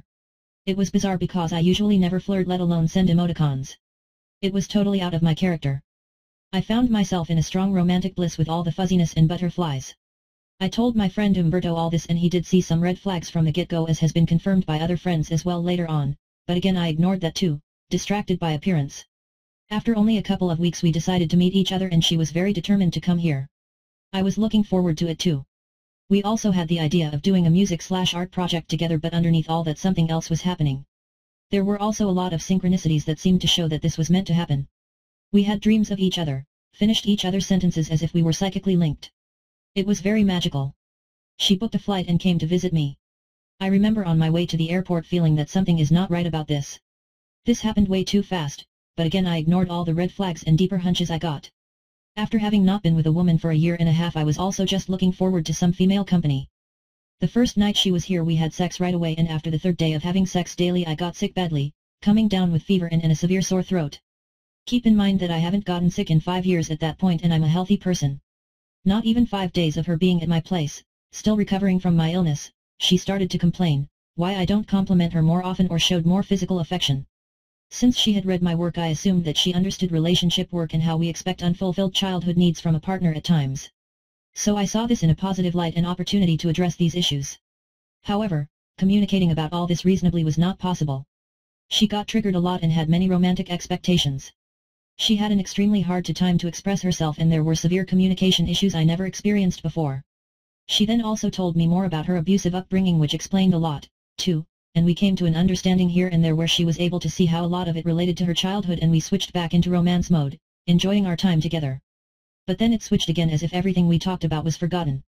Only a week later she complained why I don't respond to her sexual cues and why we don't have sex more often. We had sex almost every day at first and after I got well again maybe 3-4 times a week but it was still not enough for her.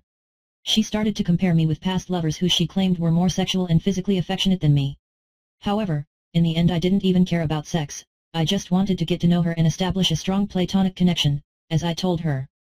She basically started to shame me about my sexuality, claiming that she's just very sexual and proud of her sexuality, and that I just don't have a strong libido. Some of her sexual desires didn't feel right to me, seemingly enjoying pain and all kinds of kinks I didn't feel comfortable with, again comparing me with her past lovers who engaged in these kind of things and that she just has to get used to me that I'm not into that and not as sexual. Sex for me is beyond any kinks and fetishes anyway. It's all about the energetic and emotional connection. Keep in mind that all this started to happen only one week into us ever being together.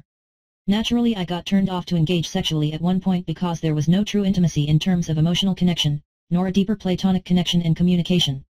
The focus on sex and physical affection and her romantic expectations around that were overriding everything else. It was deeply confusing. One day she was all over me and I over her and we were in some sort of romantic bliss, the next day she shut down triggered by something I didn't do, or say something as she expected me to, and back and forth. Whenever I was inquiring, she stonewalled me for the most part and somehow expected me to read her mind. I inquired and asked questions but it was clear that she just disassociated. However, at the same time I felt a lot for her, believing I was in love. I started to feel very drained with a lot of body pain, especially in my solar plexus. Going to work and doing bodywork became very difficult for me. She also started to feel drained. Whenever I tried to talk about all that and apply basic psychology, she got triggered a lot and took it personally. When talking to her and trying to explain myself I saw in her eyes that she had no understanding what I was talking about and couldn't take it in at all. She seemed to disassociate a lot. I tried to approach it all with empathy and compassion the best I could. Having said that, I also didn't always handle these situations well. I was so confused and literally thought I was going crazy, so at times I became overbearing and we got into arguments. My childhood wounds of not being good enough got triggered as well. I knew that stuff would come up eventually as they always do in relationships, but I did not expect for all this to come up only one week after meeting for the first time, not at all. I realized my mistake of connecting so fast and intensely with someone I didn't really know, however, there was no escape since she was here for four weeks. We did have good times as well and fun as well, but the emotional roller coaster of extreme highs and lows was completely out of the ordinary which I never experienced before in that short amount of time. Feeling shame and guilt around not satisfying her enough sexually, I engaged sexually more with her than I felt comfortable with. There were other red flags which I ignored. I knew even before she came here that she had been working as an escort and even engaged in prostitution since a young teenager on and off, making very good money off it. She had regular clients who sponsor her art slash music career as she called it and she also worked here and there at a massage parlor which wasn't really about massage. I rationalized all that away since she assured me that she doesn't do that work very often, only when she needs to make money and she got paid very well so she didn't have to work for many months in between. When she was at my place, she also considered of moving here and working as a stripper. When I expressed my concerns around that she get very triggered. Yes, I know, it sounds insane that I let these huge red flags just pass by. From the outside it's easy to see it all but when you are tagged slash set up by a love bite, reason goes out of the window. The intense emotional pull to be with her was overriding it all and I got lost in the romantic bliss we had. She justified her line of work by claiming that it didn't affect her.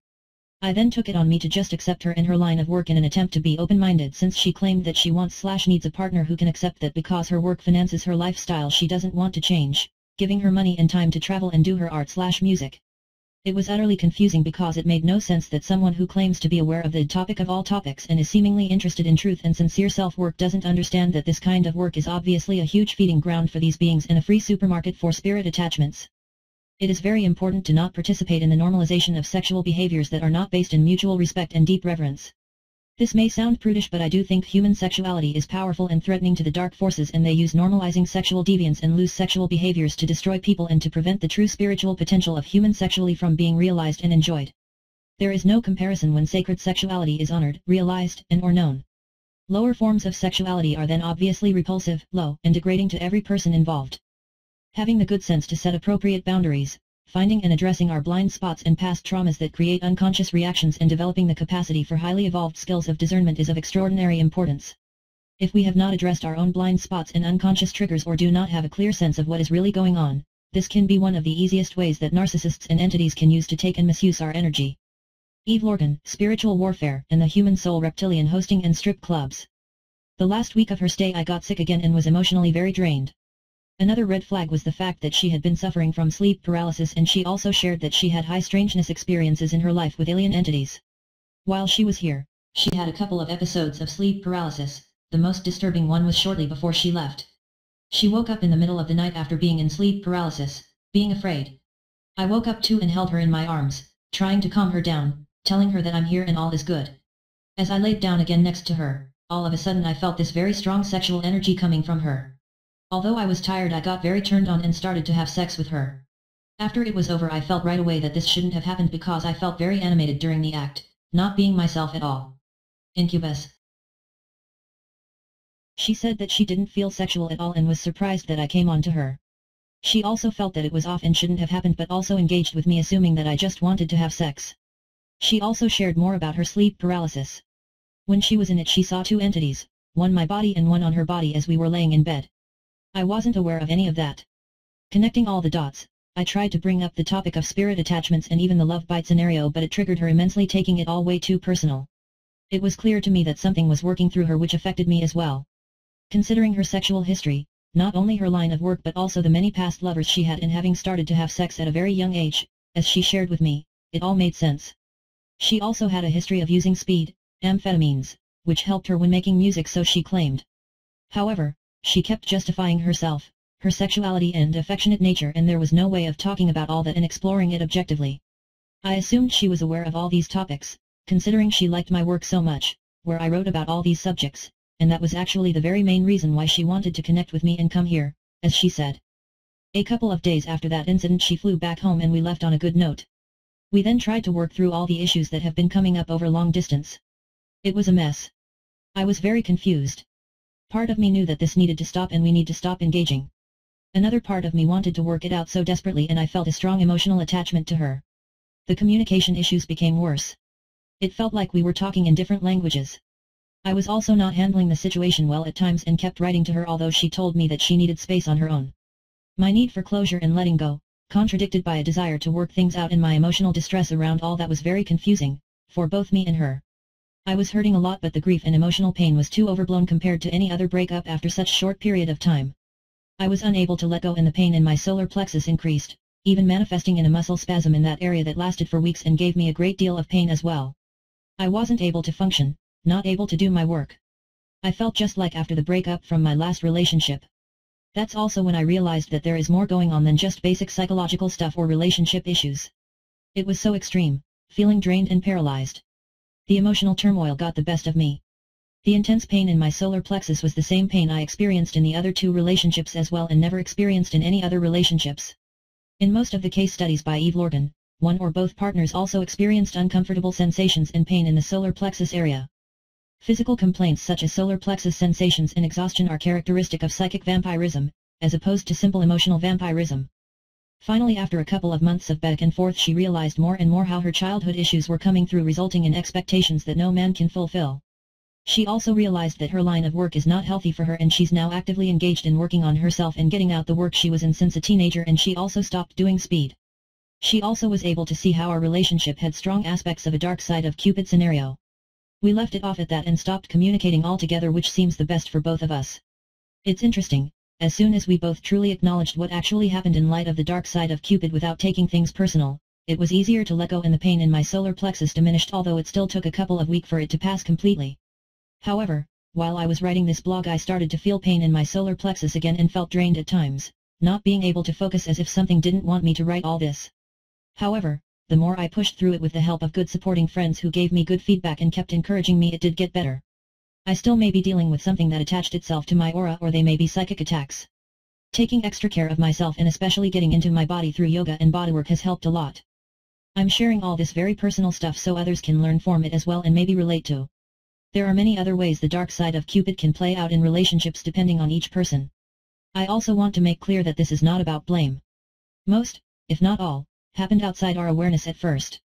So it's important to look at it all objectively and not making it a personal issue as in who is to blame or who was right or wrong. This is also not a gender issue. We need objective self-reflection when dealing with relationships in general, being able to see and own our blind spots. Interestingly, all three women I shared my experiences about here were very sexual, showing narcissistic behavior, very attention-seeking, needed to be praised, complimented a lot, and needing a lot of physical slash sexual attention that were not normal in the sense of healthy adult needs or a more mature expression of affection. They were lacking emotional regulation, having a Dr. Jekyll slash Mr. Hyde duality, completely switching off emotionally at times. A lot of stonewalling too. The contrast to all that which made it all very confusing was the love obsession, the sexual slash romantic bliss, high and joyful times and seemingly true love. However, as Eve Lorgen said, when examined from afar, the beginnings of the love drama appear positive, and perhaps within the normal range of human experience. But when delving deeper into the dynamics of the love match, I noticed that the experience held a greater degree of a magical reality. If you scroll back up to the list of characteristics Lorgen mentioned, I can answer a yes to most points she mentions in my experiences. They all manifested in different ways and in varying degrees in each relationship. Of course I need to look within myself and at my part and issue of why I attracted these kind of women and relationships into my life and why I was attracted to them, my own blind spots, wounds, and wishful thinking which these entities target, while I was ignoring all the red flags that were present at the beginning and throughout the relationships. As I said before, this is not about blaming or taking slash making things personal. Knowledge, awareness, and taking responsibility for one's own healing process and self-work are key. A red flag is an internal warning system that goes off when something feels off.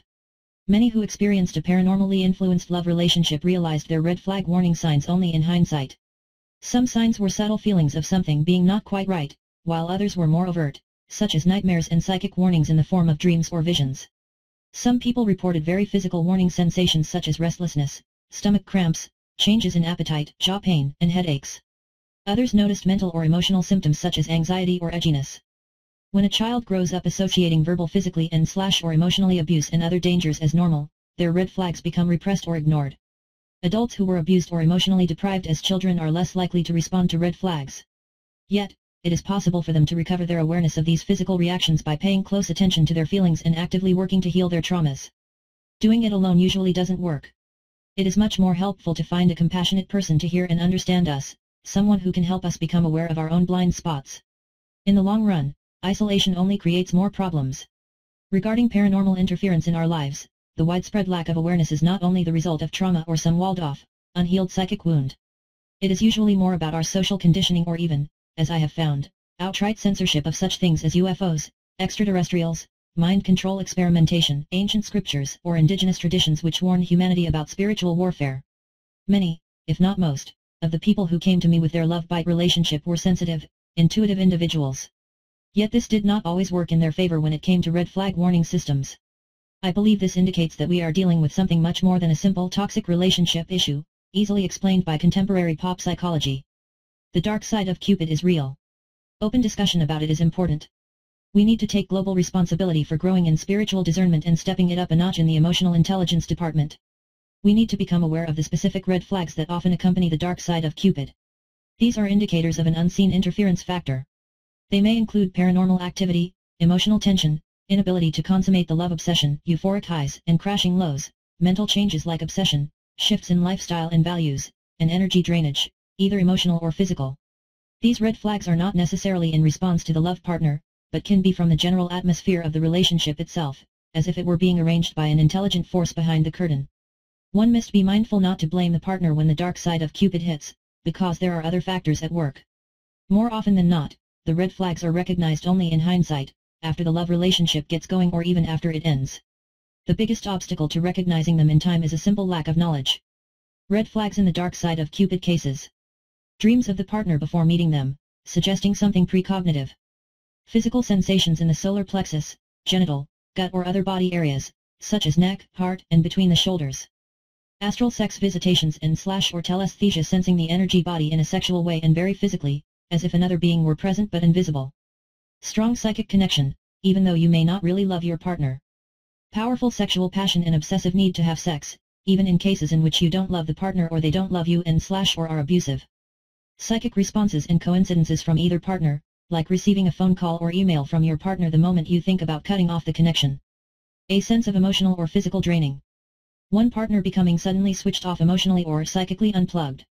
Feelings of being watched, or being played like puppets in some drama myth. Paranormal activity, third-party entity visits or attacks, sudden dreams, visions and thoughts as if implanted. Obsessive thoughts that are not usual for either partner. Synchronicities, omens, and a feeling of being in a magical reality. Many of those red flags I did notice before and during those relationships, but even more so in hindsight. The biggest reason why I didn't act on those red flags was because I didn't trust those hunches and deeper knowing.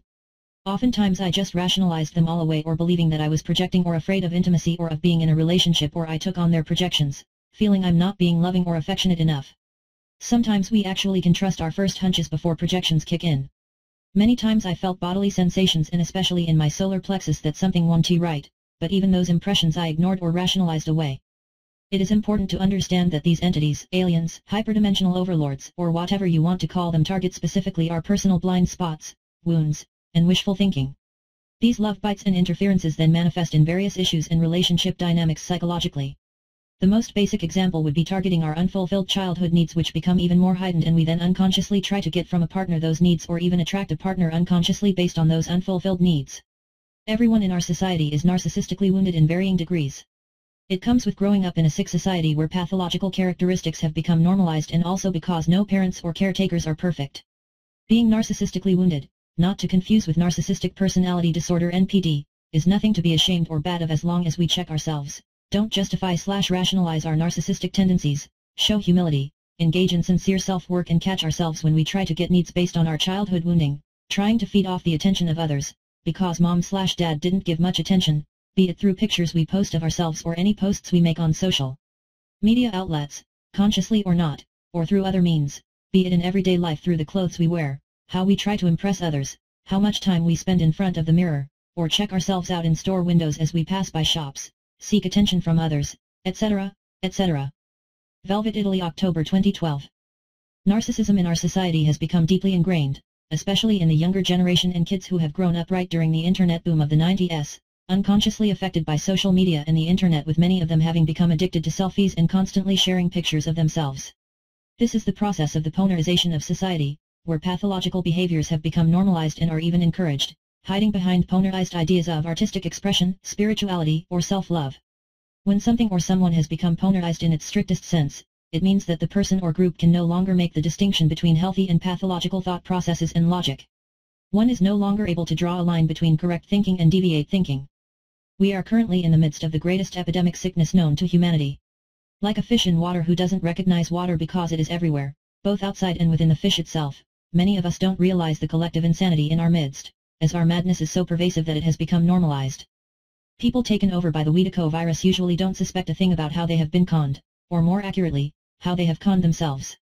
The Wetiko culture offers no incentive for them to self-reflectingly speculate upon their increasingly depraved condition, on the contrary, the non-local field configures itself to enable, further cultivate, and deepen their psychosis. When someone is a full-blown, unrecognized Wetiko, the field around them torques so as to protect, collude with, and feed into their psychosis in a way that entrances those around them. Similar to how an octopus squirts ink in order to hide, a psychic field gets conjured up around full-blown Wetikos which obfuscates their malfeasance. Once under the Wetiko spell, people lose the capacity to recognize the Wetiko pathology in others. In a situation of group narcissism, Wetikos at different stages of the disease assume particular postures and roles relative to each other that protect and shield themselves from their own insanity and darkness. They feed and reinforce each other's narcissism because it enhances their own. Anyone who doesn't buy into the arbitrarily established story is marginalized and demonized, and called either crazy, a conspiracy theorist, or even a terrorist. Such a group consensus about the nature of reality gets increasingly hard to sustain as time passes, however, as, like a house of cards ready to collapse at any moment, its vision of the world is based on the fundamental error of not being true. Strangely enough, people under the collective enchantment of Wetiko become fanatically attached to supporting an agenda that oftentimes is diametrically opposed to serving their own best interests. This is an outer behavioral reflection of the inner state of being under the sway of the self-destructive Wetiko parasite. All of the mainstream, culturally sanctioned, corporatized institutions are in the business of indoctrination, telling us what to think and not think, as well as how to think. Our mind is continually being massaged into shape by the prevailing culture, our true face lifted as our spiritual pockets are picked. Our civilization has become the mouthpiece for the propaganda organ of the disease, entrancing us to buy into its viewpoint as we are bled to death of what really counts. The culture that informs and forms around Wetiko illness is itself a channel of its transmission and growth. If we sign on the dotted line and subscribe to its viewpoint, its life-denying culture will gradually subsume us into itself, enlisting us as its agents who unwittingly do its bidding. This is how the ever-expanding, self-generating psychic empire of collective psychosis works, as it increasingly takes over and approaches full employment. We are truly in a war. It is not the war we imagine we are in, which is the way our true adversaries want it. It is ultimately and actually not a foreign war against a foreign enemy. It is a war on consciousness, a war on our own minds. Paul Levy, Dispelling Wetiko Breaking the Curse of Evil. There is a difference between healthy self-love and self-expression as opposed to narcissism and sometimes the lines are blurry for we all have the immense ability to lie to ourselves and rationalize our behaviors. There are also other pathologies many people are dealing with and are not aware like the dance between a CO-dependent and narcissist, for example, who attract each other based on trauma bonding. I certainly can see how my own codependency issues have attracted narcissistic women. Trauma bonding happens when two people are attracted to each other because of their unconscious wounds mistaking that is love.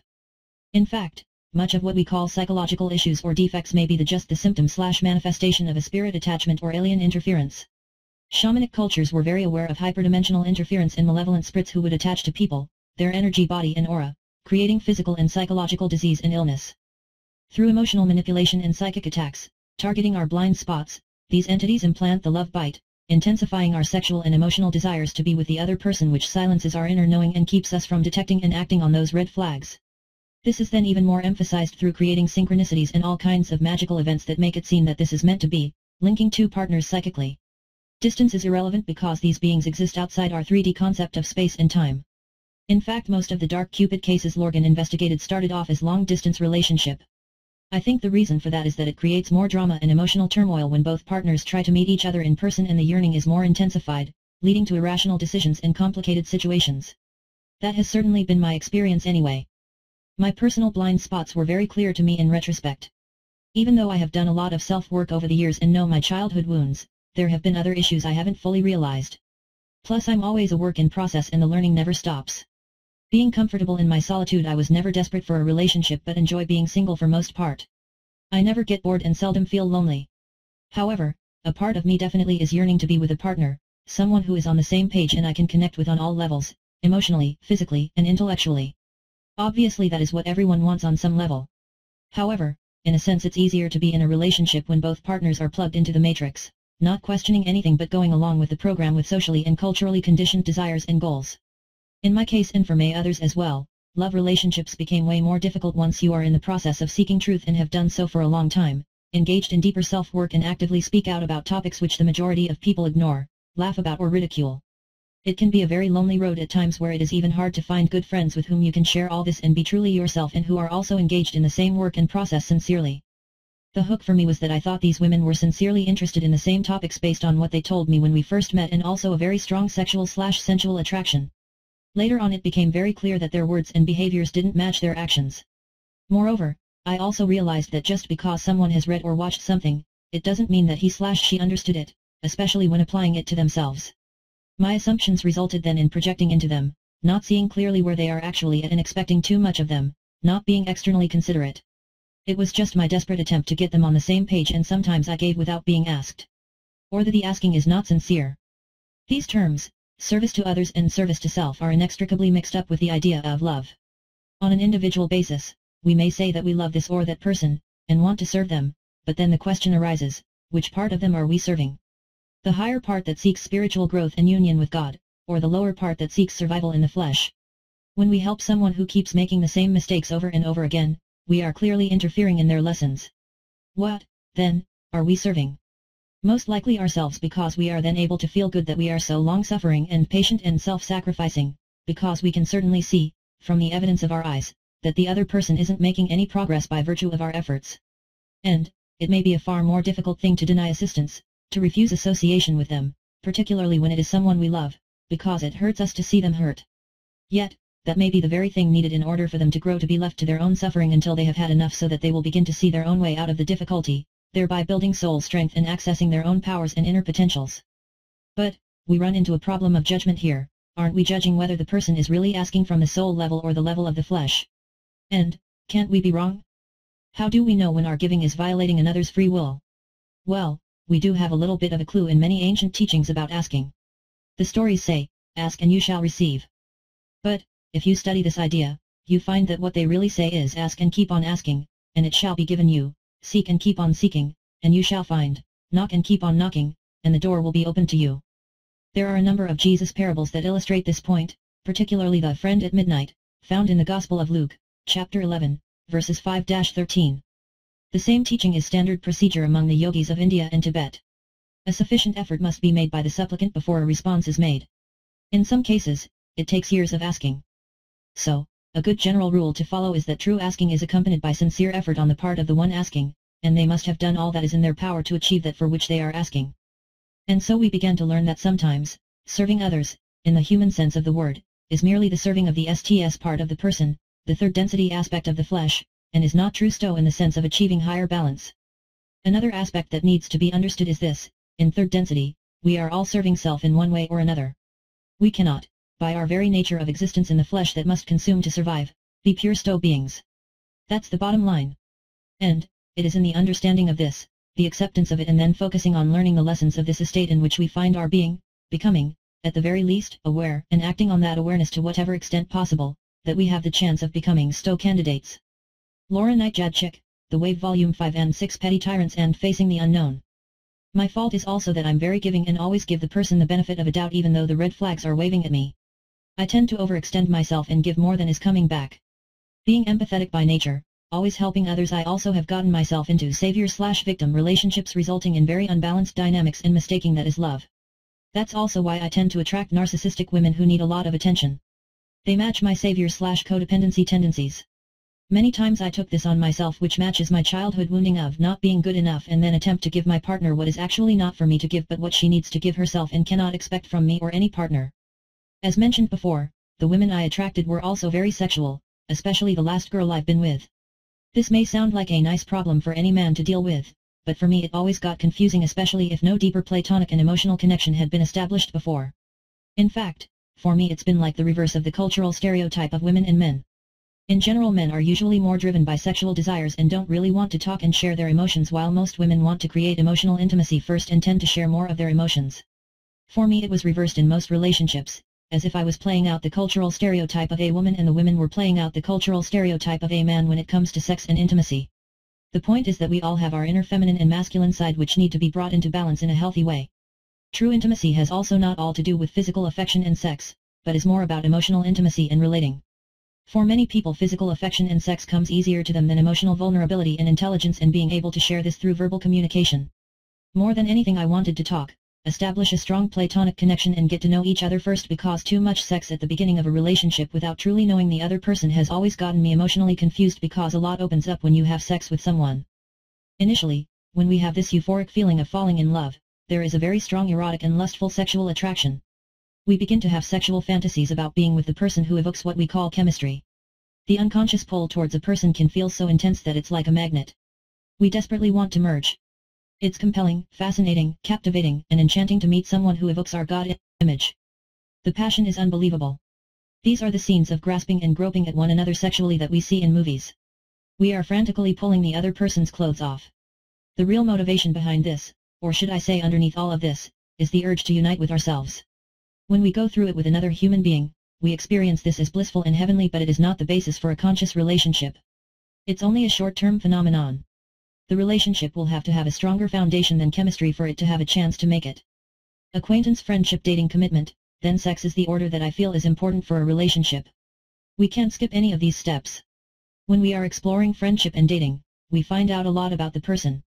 We may or may not want to continue into a committed situation. After being good friends and dating for a long period of time, only then are we ready to deal with commitment and sexual intimacy. Otherwise we are having sex with a stranger. When we prematurely become sexually intimate, this actually prevents us from getting to know people. Too much fear enters the situation. We start to come from a space of how we can feel secure in this situation instead of how we can get to know who this person is or whether we have a good partnership. When we are compulsively or magnetically drawn to anyone, it is inevitable that there is an element of projection. Rebecca Eigen, Shadow Dance and the Astrological Seventh House Marriage, Partnership, and Open Enemies. The sexual attraction and intensity took me over as well at the beginning and acted on it without awareness. Getting lost in the romantic bliss with all the hormones rushing in I got involved deeply and fast, too fast. The love bite intensifies these desires even more. My big lesson in all of this is obviously to take my time to truly get to know the other person first and watch out for the red flags and not just act on all the emotional bliss, sexual passion, and romantic projections. That's easier said than done when this happens, especially when a love bite slash dark cupid is involved. Being in the midst of a love bite slash dark side of cupid relationship and the leading up to it is hard to put into words or describe to someone who has never experienced anything like that. The outside observer may assume it all looks fine, like many friends told me about some of these relationships and how great we look together, but appearances and pictures can be very deceiving. When I shared what's actually going on and realized all the red flags even more, some of my friends couldn't understand why I don't just let it go and, and be over and done with it. It's not that easy at all and takes a long time to recover, longer than any other normal relationships that had no signs of a love bite slash dark side of Cupid. Having said, a few very good friends who know about the topic of the dark side of Cupid and the topic of all topics saw right away what was going on and helped me a lot through it all, even encouraging me to write this blog to share my experiences so others can learn from it who can see similar characteristics in their relationships which defy any normal relationship dynamics and cannot be explained through basic psychology or spirituality alone. The topic of the abuse and distortion of sex and sexuality in our society is a subject on its own. I wanted to write about this subject more in depth in this blog as well, but considering how long this article already is I'll just address some points briefly. Sex and sexuality is highly distorted in our society. In fact humanity is screwed up sexually in so many ways we're not even aware of and the abuse of sex is widespread, not only in the obvious ways, such as pedophilia, rape, sexual harassment, porn, etc but predominantly in ways what most people consider normal or healthy sexual behaviors and desires with all kinds of kinks and fetishes. There is also a difference between true sexual play for fun and unconscious drives and behaviors based on sexual and emotional abuse, even violence, under the disguise of play. Interestingly, after thousands of years we still haven't gotten a deeper understanding of the mystery of sexual energy and its real power, creativity, and healing capabilities.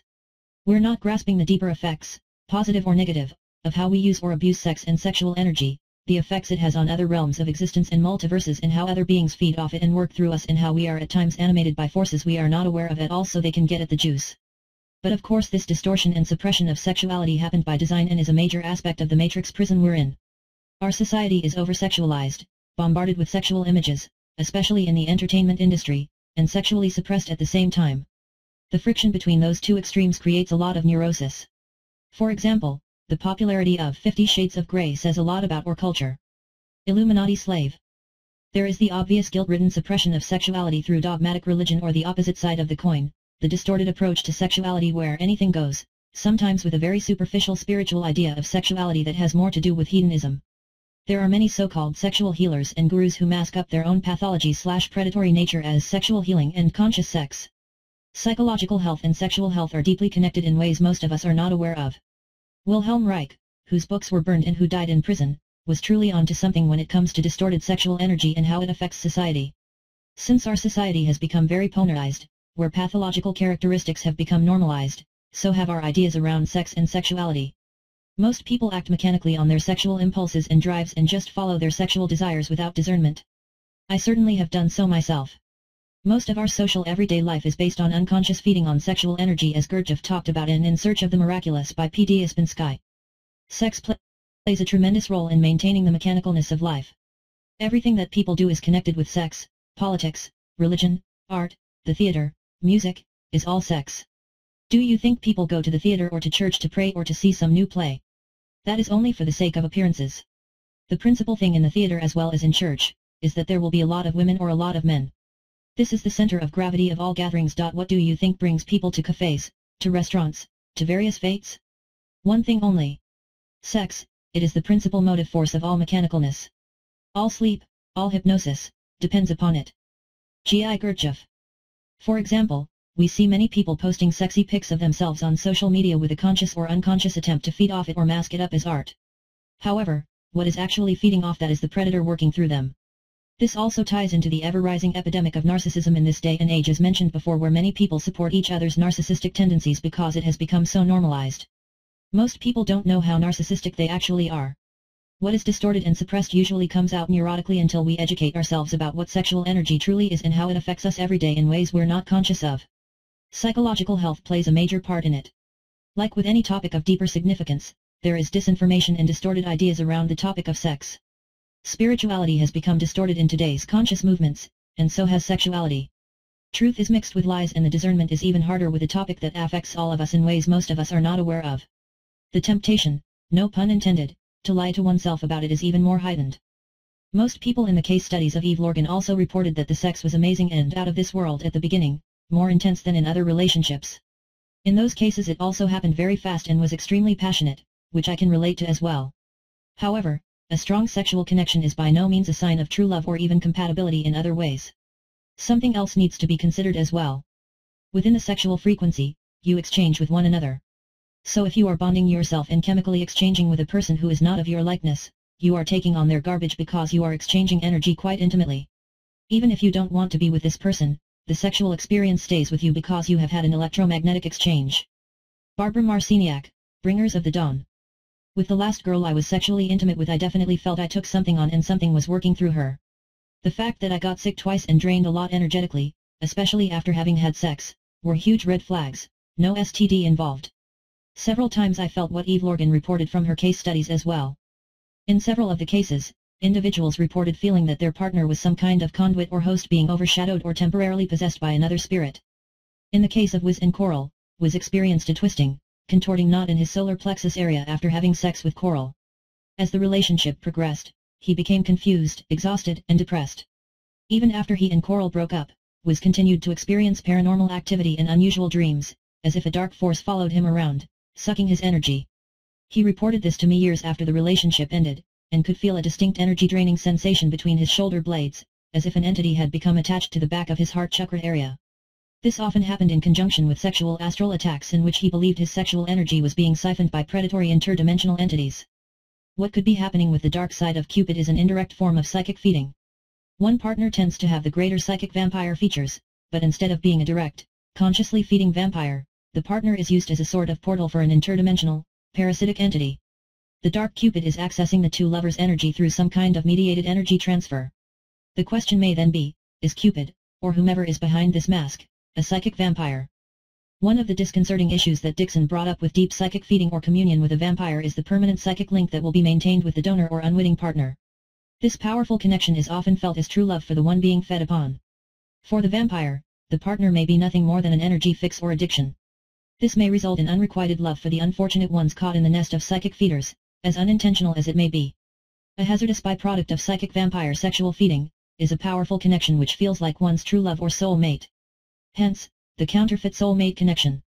As mentioned before and I want to make this clear again because it is very important. It is not about blaming the other person nor should anyone who might have to come to terms with that he slash she is acting as a portal or has taken on a spirit attachment take this personal either. I have been dealing with spirit attachments myself in the past.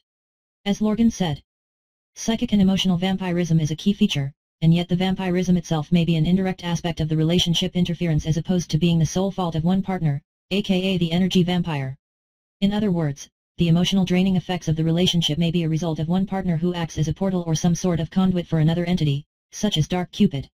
These red flags are not necessarily in response to the love partner, but can be from the general atmosphere of the relationship itself, as if it were being arranged by an intelligent force behind the curtain.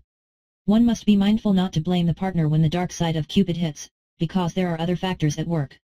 However, bringing this topic up to a partner who may be dealing with a spirit attachment and slash or being a conduit for other entities is not easy at all for the predator mind in them will defend and rationalize it away or take it very personal where no objective discussion is possible. In fact, it may be the case that the entity is working through them in that instance, injecting thoughts, buffers, and defense mechanisms which they take as their own thoughts because it doesn't want to be exposed. Lorgen shared a couple of cases where it was possible for a couple to work through a dark side of Cupid setup since both partners were able to look at it objectively, not taking things personal, made an effort to educate themselves about this topic and were actively engaged in self-work and relationship work.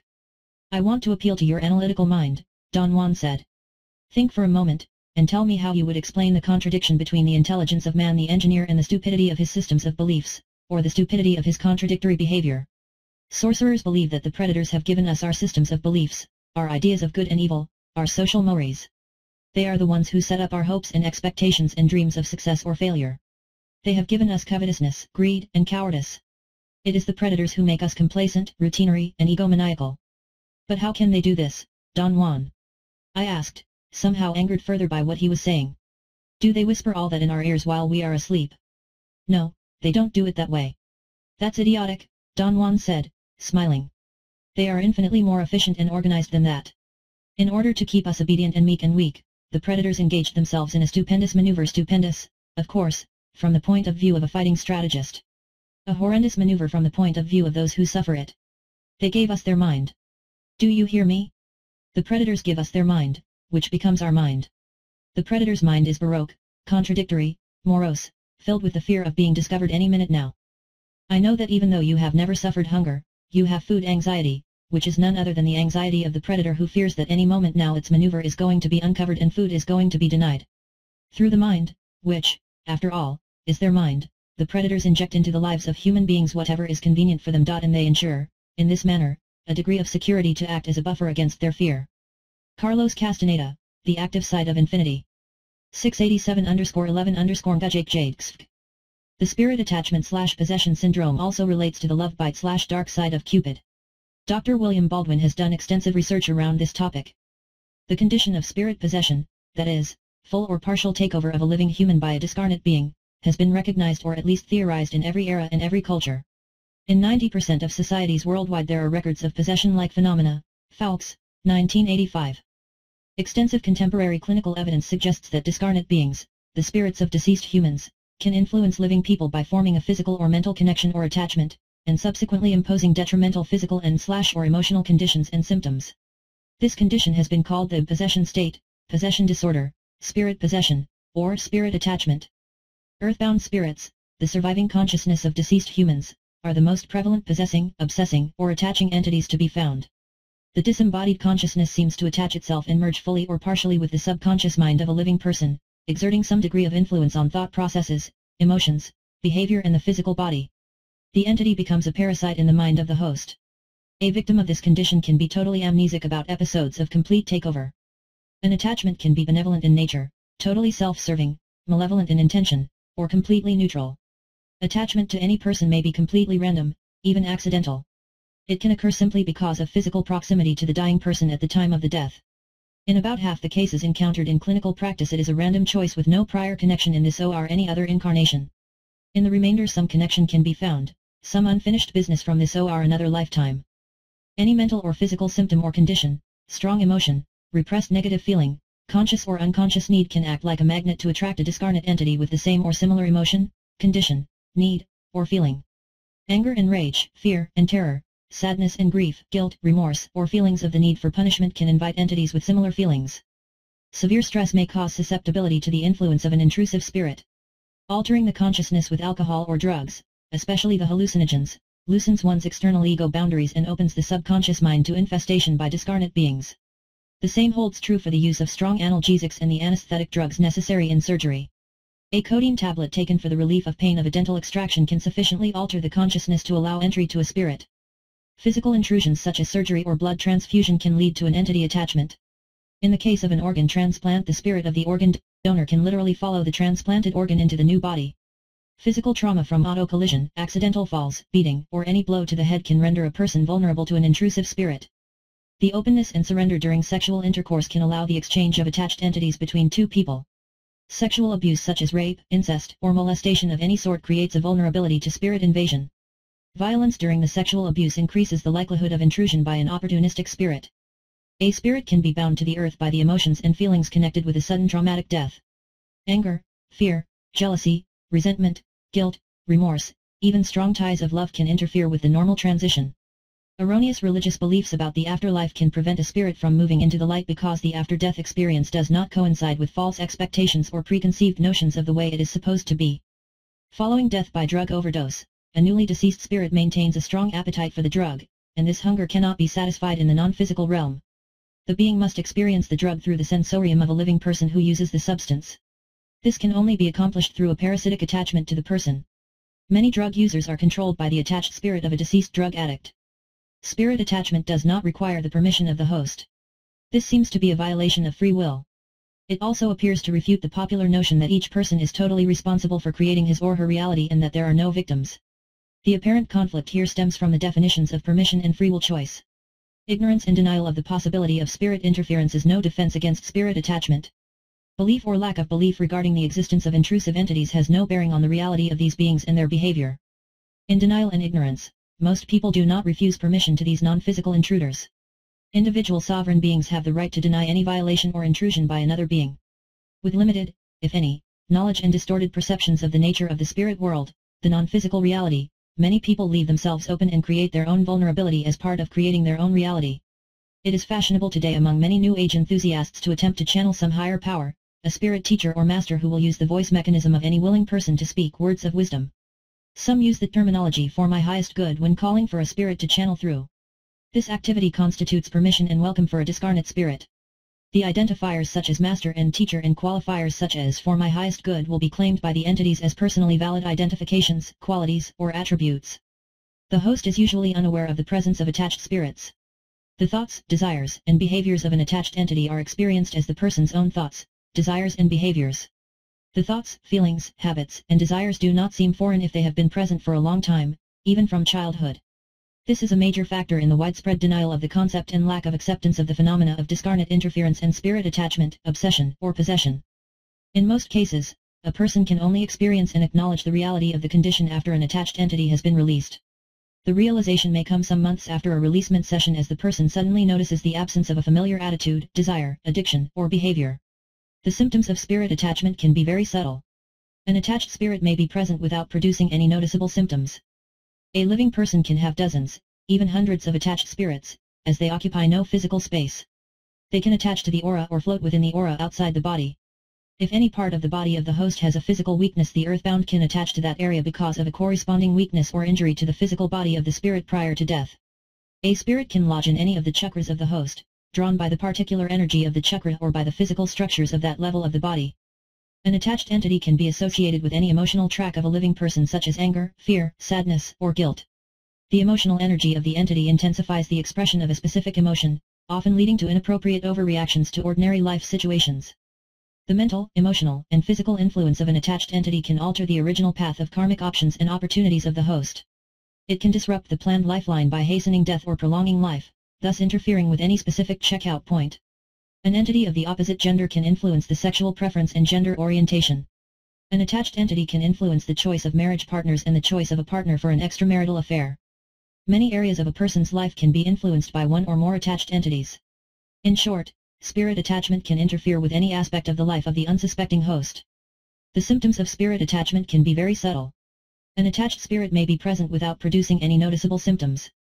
Yet attached entities always exert some influence ranging from a minor energy drain to a major degree of control or interference. Complete possession and takeover can result in suppression of the original personality. The earthbound spirit does not replace the rightful spirit in the body in such a case, it just usurps control.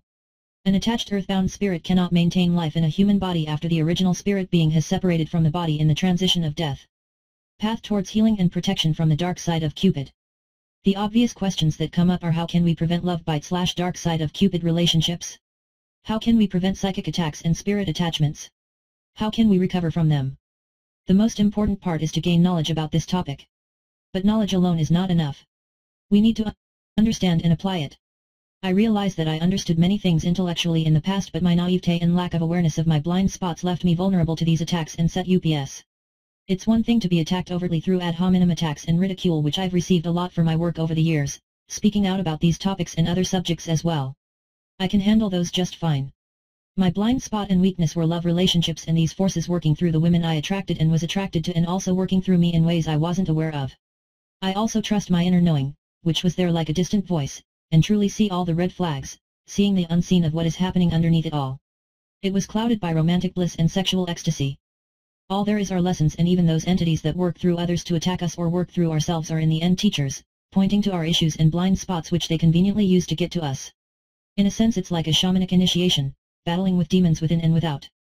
That's why it is important not to fall into blame or making it a personal issue and project onto the partner. These love bite slash dark side of Cupid experiences, especially the last one, forced me to take a deeper look into myself even more and also truly understand how romance at the beginning of a relationship can be so deceiving with all the emotional high and fixation when our hormones go crazy. Trusting our intuition and inner knowing from the get-go is very important, resisting to act on our impulses, especially if they are out of proportion emotionally and sexually driven. Sexual chemistry and sexual intercourse itself is also a preferred method of creating a powerful link for psychic feeding. Eve Lorgen Alien Love Bite. Most often we don't question our desires and impulses. We believe we know ourselves but mistake unfulfilled childhood needs as our true adult needs at times, mistaking the conditioned self for the true self. We also don't question our sexual fixations and desires at times and just act on them as they arise, assuming that this is just who we are and we just feel sexual or horny and hence just need to have sex or masturbate. For example, when I pointed out to the last girl I've been with that there is something off about her exaggerated need for physical affection slash sex and certain sexual kinks she was into, which didn't feel right to me, she said that this is just who she is, very sexual, and very affectionate. She even compared me to her past lovers with whom she never had such problems.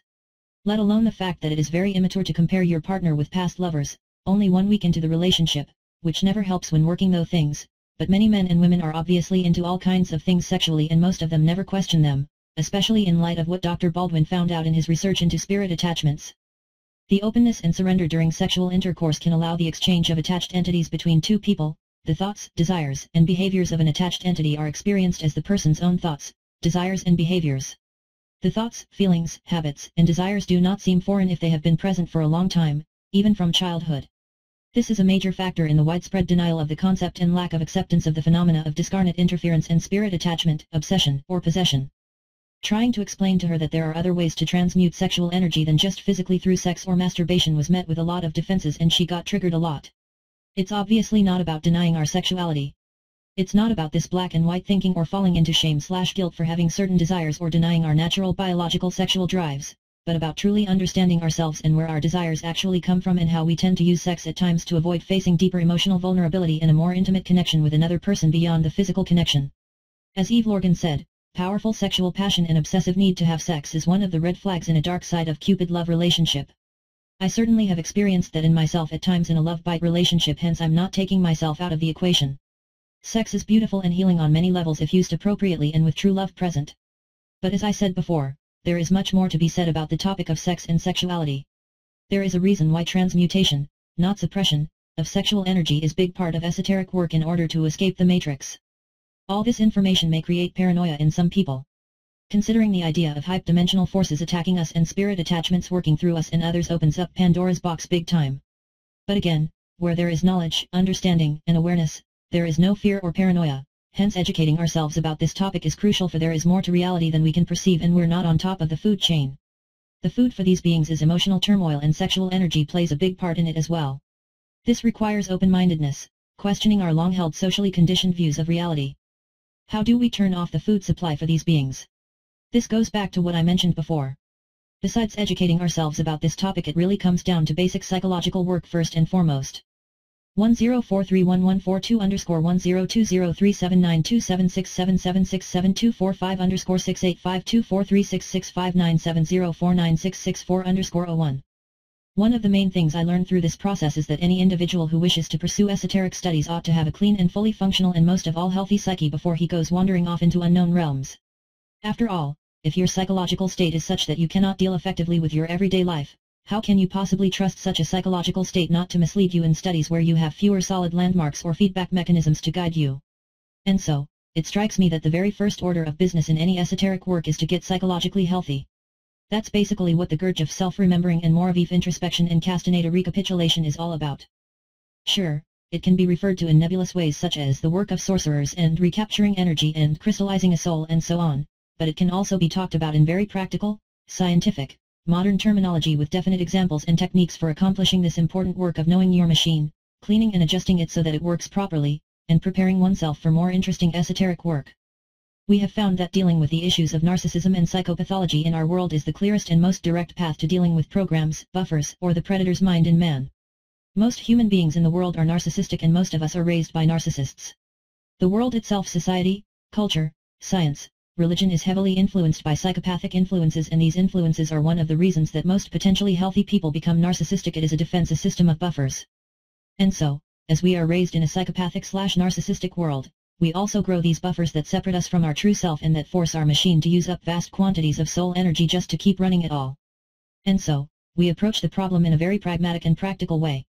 A person can do nothing until they are psychologically healthy and this means removing buffers, mentally going over the machine in a careful and thorough way, cleaning it, rewiring it and most of all, having new experiences that help with this rewiring process in an environment where this is possible.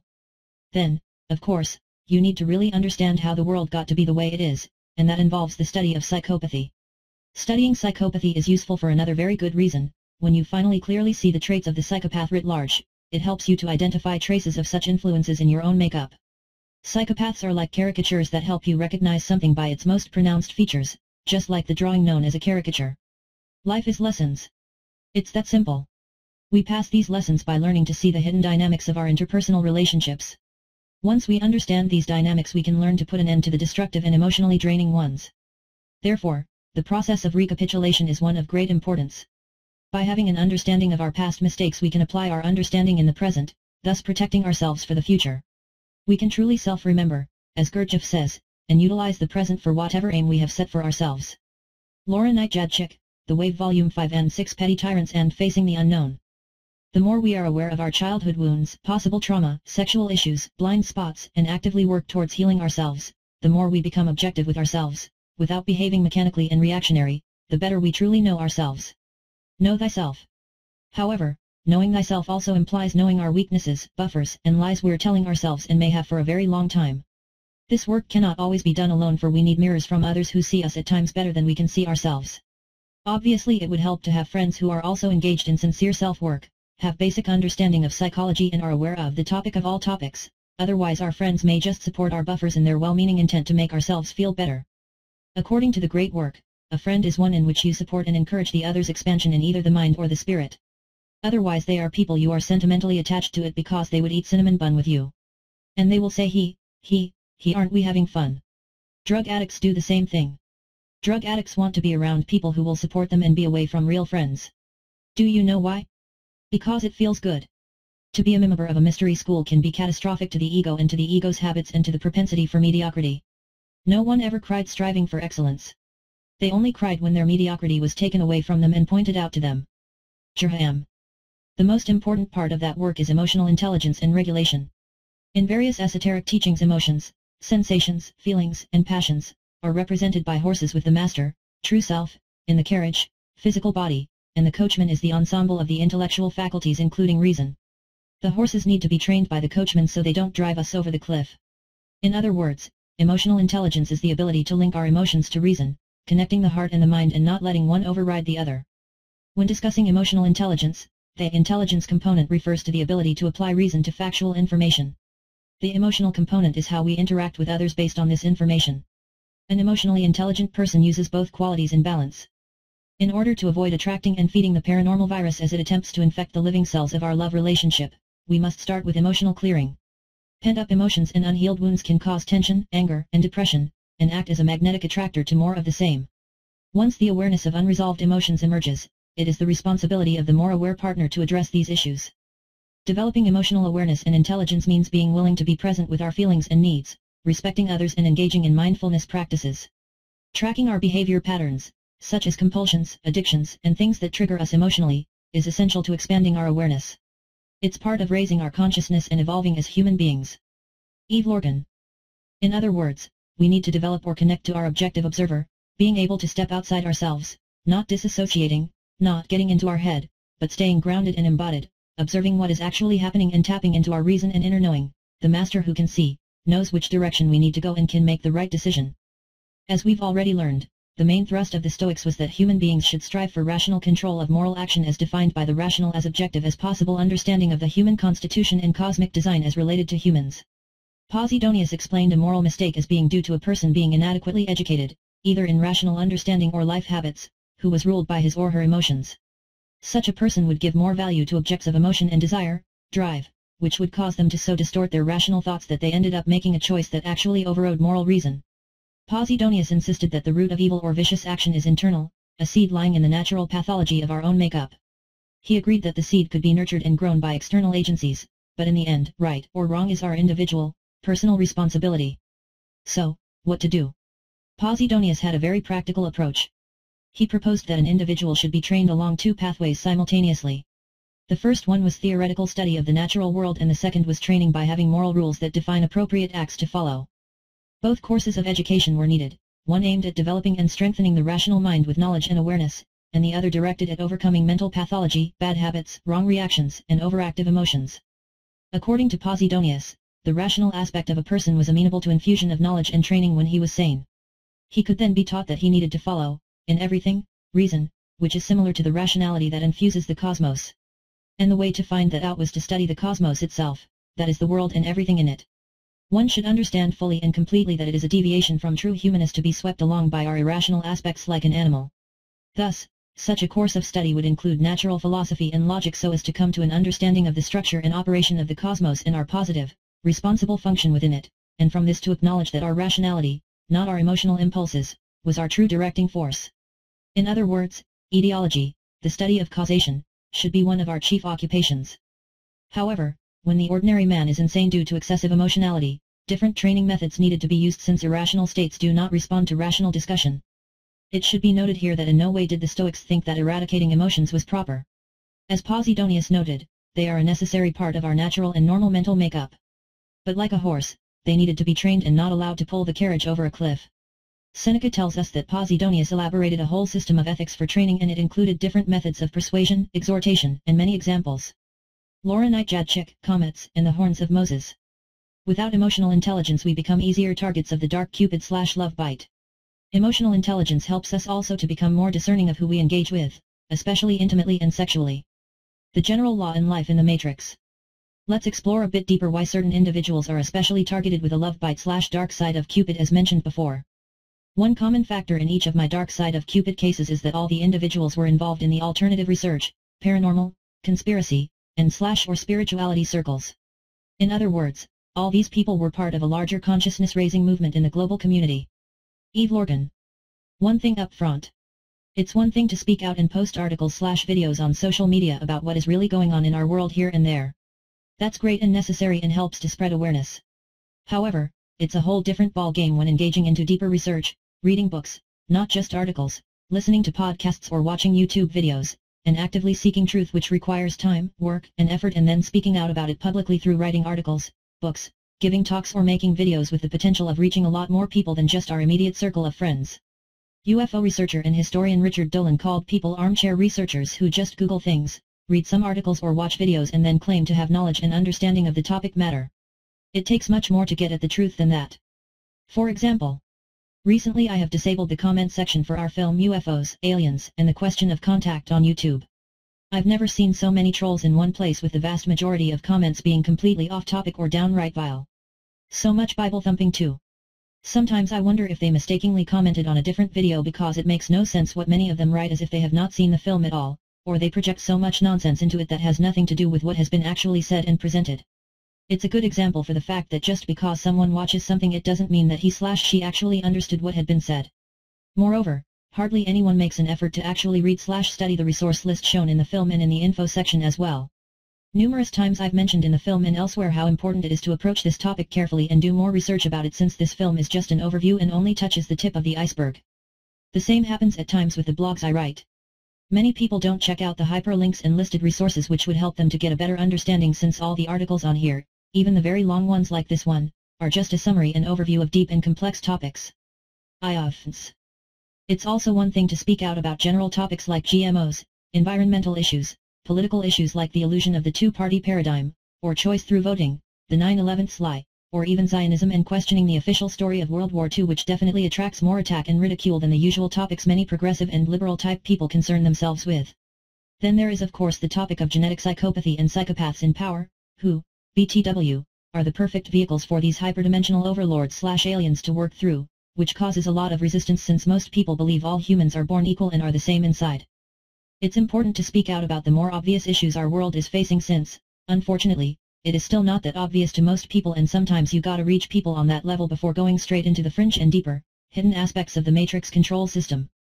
However, what I have noticed in my life as well as in the life of others is that once you expose the topic of all topics and the hyperdimensional control slash manipulation of humanity, which is the root cause of the many other issues that are merely the symptoms, the control system goes into overdrive and attacks these people even more, mostly through others or directly through psychic attacks, or in the form of a love bite slash dark side of Cupid relationship. On a side note, I would never claim to be a researcher in the likes of the many amazing researchers and minds I quote and refer to often. I just connect the dots based on their their work, cross-reference them, and relate it to my own research, experiences, and insights. Many of those renegades and amazing researchers have suffered under severe attacks more than I ever have. Some of them were even killed or suicided. As I mentioned before, my life definitely changed big time once I got deeper into these topics and especially after releasing the UFO documentary when even one of the researchers presented in this film told us, just be aware that you will attract attack for putting this information out. For the most part those attacks happened in ways I did not expect at all, as though these forces knew exactly my blind spots and weaknesses, even though I was aware of the idea of hyperdimensional attack and interference since that is what the film and other writings were all about to begin with. It sounds contradictory since this knowledge should have protected me, right?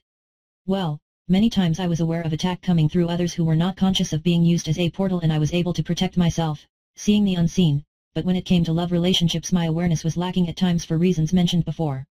Knowledge alone is not enough if we don't fully apply it at all times, stay aware and keep working on ourselves with all the impeccability and super efforts, Gurdjieff, necessary. We also need to a good network of truly like-minded friends who are engaged in the same work so we can be alarm clocks to each other and check each other's blind spots. The Cassiopeans say knowledge protects, and from their perspective, it is not knowledge until it is applied it is merely a collection of data and facts. And so we come to the idea that if a person is viewing this present situation we are discussing from a strictly human view, without considering the soul dynamics involved, then it certainly would seem to be merely a tempest in a teapot or a petty squabble or even a lack of harmony. From the human perspective, most of what occurs in interpersonal dynamical interactions is so judged. It is that very human judgment that we are being challenged to see through. The ordinary human interpretation that is generally put on such things is a mechanical reaction from the why can't we all just make nice and get along school of thought. And that is precisely what the matrix control system promotes. When you put the various pieces of the puzzle together, what you find is that the predator's mind, the hypnosis that Gurdjieff talked about, the matrix control system interface with our biocosmic computers, our bodies, is our DNA which is controlled and restricted by the generation of specific brain chemicals via the control of our emotions.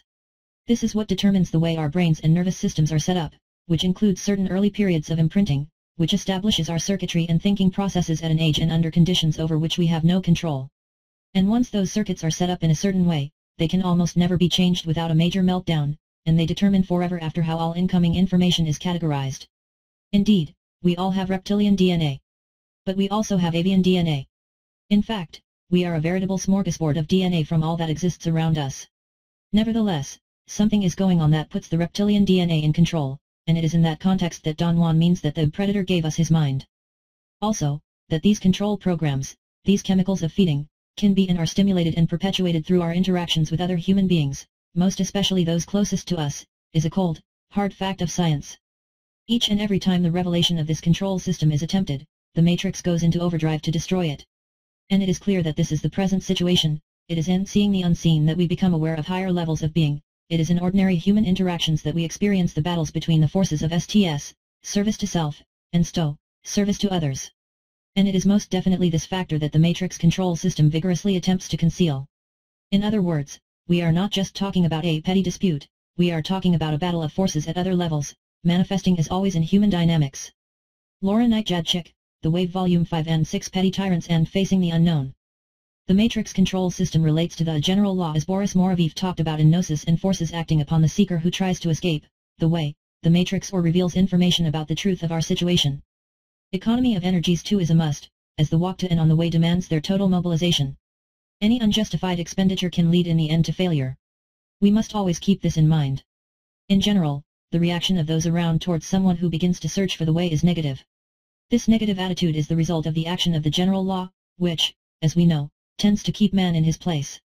Not being able to do this directly by the action of illusion, the general law, when it loses its dominion over the man who moves, acts indirectly by the mediation of those around him. On the other hand, if someone just lives along without any efforts of waking up and seeking truth and is no threat to the general law or matrix control system, that also entails speaking out about issues that are not a real threat to the matrix or just distractions which ties into COINTELPRO, distracting the seeker with pseudo-conspiracies, corrupted spiritual slash new age teachings and disinformation, he slash she will be left alone. He slash she can even make a brilliant career, be successful, have a family, kids, and be happy in the matrix reality without much struggle, yet he slash she will not have progressed esoterically being unconsciously under the influence of the general law following a influences of official culture and the status quo. We are not aware of how much we are bound by the action of the general law. Acting on us as it does on ourselves, this law immobilizes us or constantly tends to bring us back to our place. Its strength leaves us little freedom of action outside the limits of its direction and scope. It acts in various ways. One can say that if man lives like everyone else, if he does not venture off the beaten track, he will never perceive the existence of this force, or rather this force will ignore him.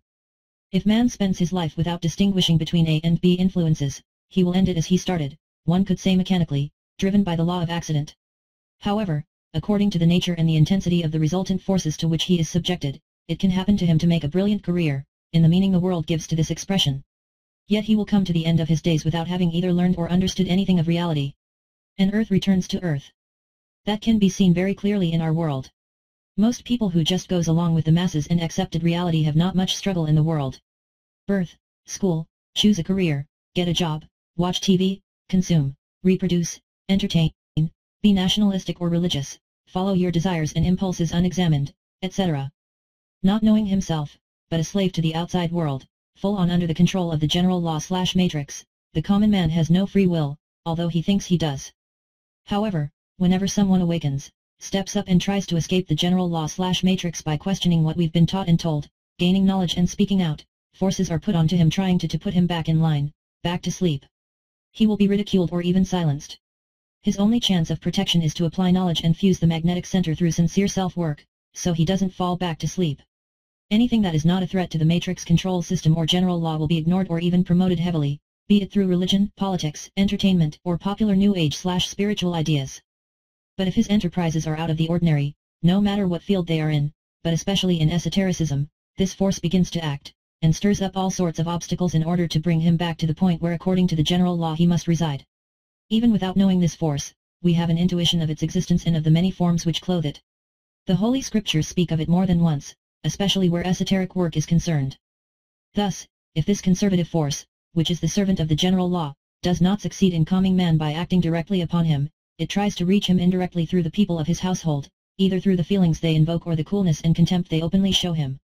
Organic portals. This conservative force, the servant of the general law acts mostly through organic portals. Humans who are not aware, having no access to the higher centers or haven't built a strong eye and foundation are being used as portals through which the matrix works and unconsciously try to keep others from awakening through hyperdimensional forces, 4D STS, working through them. Think of Agent Smith being able to inject himself into any character in the film The Matrix trying to stop Neo from awakening. Hence, blind people, people who are asleep, plugged into the Matrix, the grand illusion, become unconscious tools and puppets of the Matrix to make sure no one jumps out of line. Organic portals are generic vehicles or portals, in human form, open for use by a variety of forces, which is why they make excellent matrix puppets. It just so happens that they're being used now by 4D-STS to control 3D-STS slash 4D STO candidates through clapper and vampire functions keeping us locked into a behavioral pattern matching the orchestrated norm, and being physically close to us to sap our energies and keep us from having enough escape velocity to remove ourselves from the matrix control system's tug, via development of our magnetic centers. Thus we see that the natural function of the OP of imitation of the soul energy, the process by which they were able to progress and evolve, assumes a specific character with the STS development stream of collecting the soul energy of souled individuals in order to pass it along the feeding chain to 4D STS. The principal role of the OP is now to prevent the genuine seeker from advancing along the way. Laura Knight The Secret History of the World. Red Dress Matrix. Were you listening to me, Neo? Or were you looking at the woman in the red dress? Morpheus, The Matrix. We can see how this ties into love bite slash dark side of Cupid love relationships, not only to feed off the emotional turmoil but to set up one partner, who is involved in seeking truth and speaking out about the topics that expose the matrix control system, in order to divert and distract him slash her from the path. I can see how some women I was involved in mentioned before could have been organic portals since the primary talent of an OP is that of imitation, of mimicry as they steal energy from souled beings so as to emulate them. They also tend to be very focused on carnal love, based on the lower three centers and especially the sexual center. Of course all of this happens unconsciously. The pre-Adamic being, organic portal, is in his or her environment in a way that an Adamic being, souled individual, is not. The world with its A influences holds great attraction. The activity of the sexual center seeks gratification in a world more and more sexually charged through media and open displays of sexual imagery. The eye of the body can exist happily on the level of a basic animal existence governed by the lower centers, but the developing real eye in the process of activating the higher centers cannot. The topic of organic portals is deep and far-reaching. One must not to come to hasty conclusions, assumptions, or judgments. We all are organic portals to one degree or another as the predator and matrix works through all of us until we make the effort to gain, self, knowledge and work on fusing our centers that connect us to our higher self in a conscious way, dislodging our programs and conditioned, mechanical behaviors so we're able to use our will in a conscious and awake manner. That is the basis for true free will. Whether or not the individuals named are organic portals is not the issue. They may be souled individuals who have not yet been able to see behind the lie of the personality, as long as that has not happened, souled individuals will function and see the world and themselves as if they were organic portals. A major part of our esoteric work is to learn to extricate ourselves from the energy-feeding dynamic inherent in relationships with organic portals. Moreover, because those who have the higher centers in potential are subject to the same programming and are mechanical, reaction units until they undertake the work to develop their higher centers, the same thing holds true in our interactions and dynamics with them. We are all feeders until we learn to stop our feeding off of others and how to stop others from feeding off of us. Esoteric work demands enormous amounts of energy, and this energy is the energy off of which others feed. In order to progress in esoteric work, it is fundamental to understand this underlying dynamic of feeding. It is pointless and dangerous to attempt to identify and to classify individuals as organic portals because we are all ops until we choose to be otherwise. To turn a tool for understanding the true terror of our situation in this world of the fallen into a weapon against individuals is to empty it of its spiritual importance and render it a tool of our enslavement in the material world, the same process that has occurred to all of the world's religions during the course of our unhappy history. A true understanding of the organic portal and the world in which we live gives us the knowledge necessary for getting out alive, whether that is literally or whether it is just being alive to our true nature as souls locked in material bodies in order to learn important lessons that only this world can teach. We can no more hate those who have no access to the higher truths because of who they are than we can hate the cat who plays with the mouse prior to killing and eating it. For a deeper and better understanding of this topic please read Organic Portal Soulless Humans and check out the resources and links within it. Wanderers. Let's look at the love bite slash dark side of Cupid scenario in light of the idea of wanderers.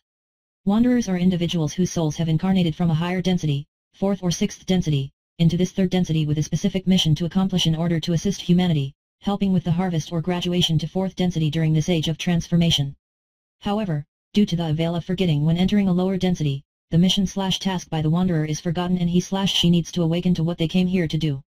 Wanderers need to become conscious and aware of the traps, deceptions, and distractions in third density which may interfere with their mission since most people are not like them, but have a different inner wiring so to speak.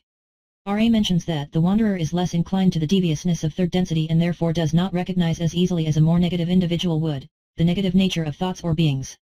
RA tells us that wanderers are vulnerable because they become completely the creature of third density in mind and body, and are, by nature, less inclined to deviousness and manipulation.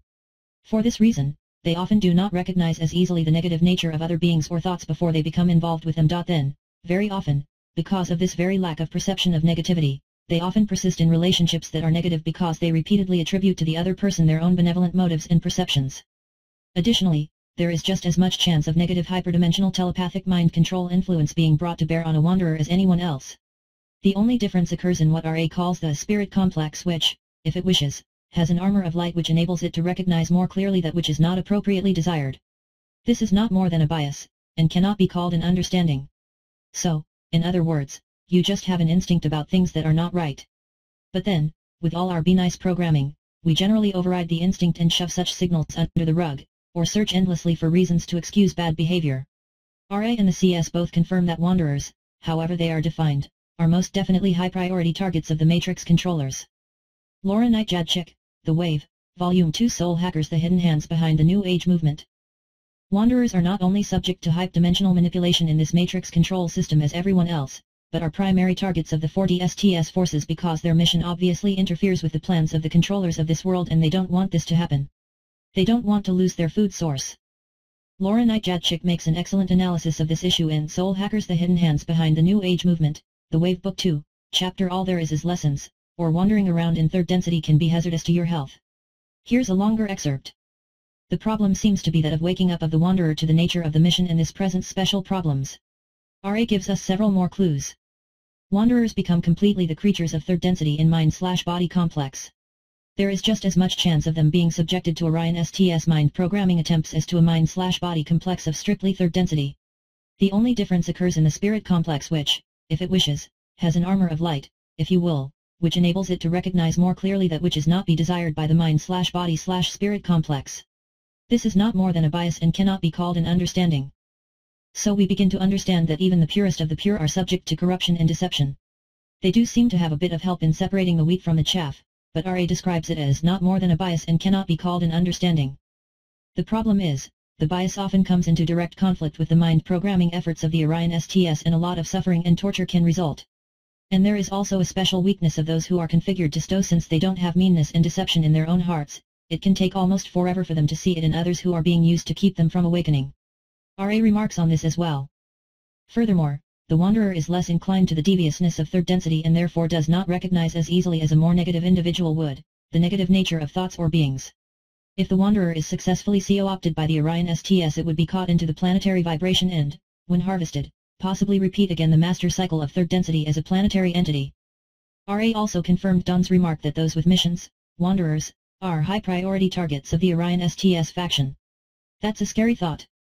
What it means is that if a person comes into incarnation from a higher density with a mission to serve, not only are they enveloped in the veil of forgetting, they become special targets for a bunch of intergalactic rapists and murderers who are only restrained in their actions by some sort of vague law of free will which still allows every imaginable trick and deception to be perpetrated on them so that they will engage in relationships, beliefs, actions, or reactions designed to bring them Down a few densities, so to speak. And they only get a bias toward what is truth, and not a clear understanding. So with all of this information we are trying to put together about what is out there just waiting to trap and deceive us, how in the world are we supposed to have a clue as to what is going on? Just who are the good guys here? In terms of STO contacts from the higher densities the infringement upon free will is greatly undesired. Therefore, those entities, which are wanderers upon your plane of illusion, will be the only subjects for the thought projections that make up the so-called close encounters and meetings. RA seems to be saying that only the wanderers have any hope of being in contact with the higher level good guys because they are, ipso facto, already of STO configuration and therefore, contact is not an infringement upon their free will as it would be if the STO contact came to a third density being who has not yet graduated to the higher densities. Of course, they all look alike here on the big blue marble, and they are all mostly engaged in living relatively normal lives side by side with one another. And they do have to be awakened. Also, there is a special condition under which wanderers may be contacted, it seems, that pretty much eliminates your weekend seminar in channeling. It seems that there is an almost mathematical law involved in being able to communicate with higher density beings.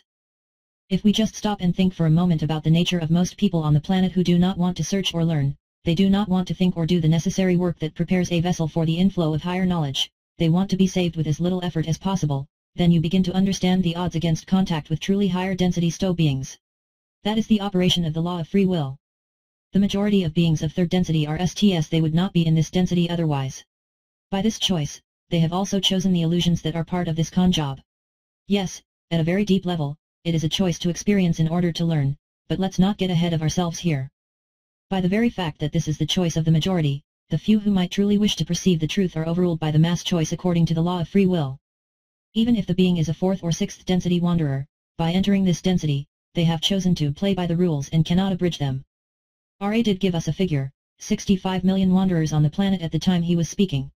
That amounts to about one person out of every hundred on the planet. But how many of them survive the attacks? How many of them actually do, can, or will wake up? particularly when we must expect them to be objects of special attention in terms of attack.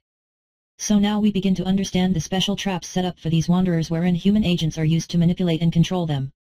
If they cannot be corrupted directly, the strategy is to corrupt those around them including family, friends, spouses, and associates of all kinds. There was a curious exchange with the Cassiopaeans at one session which included another individual who also fits this profile that gives some clues as to how this occurs. May 3, 1997. Q.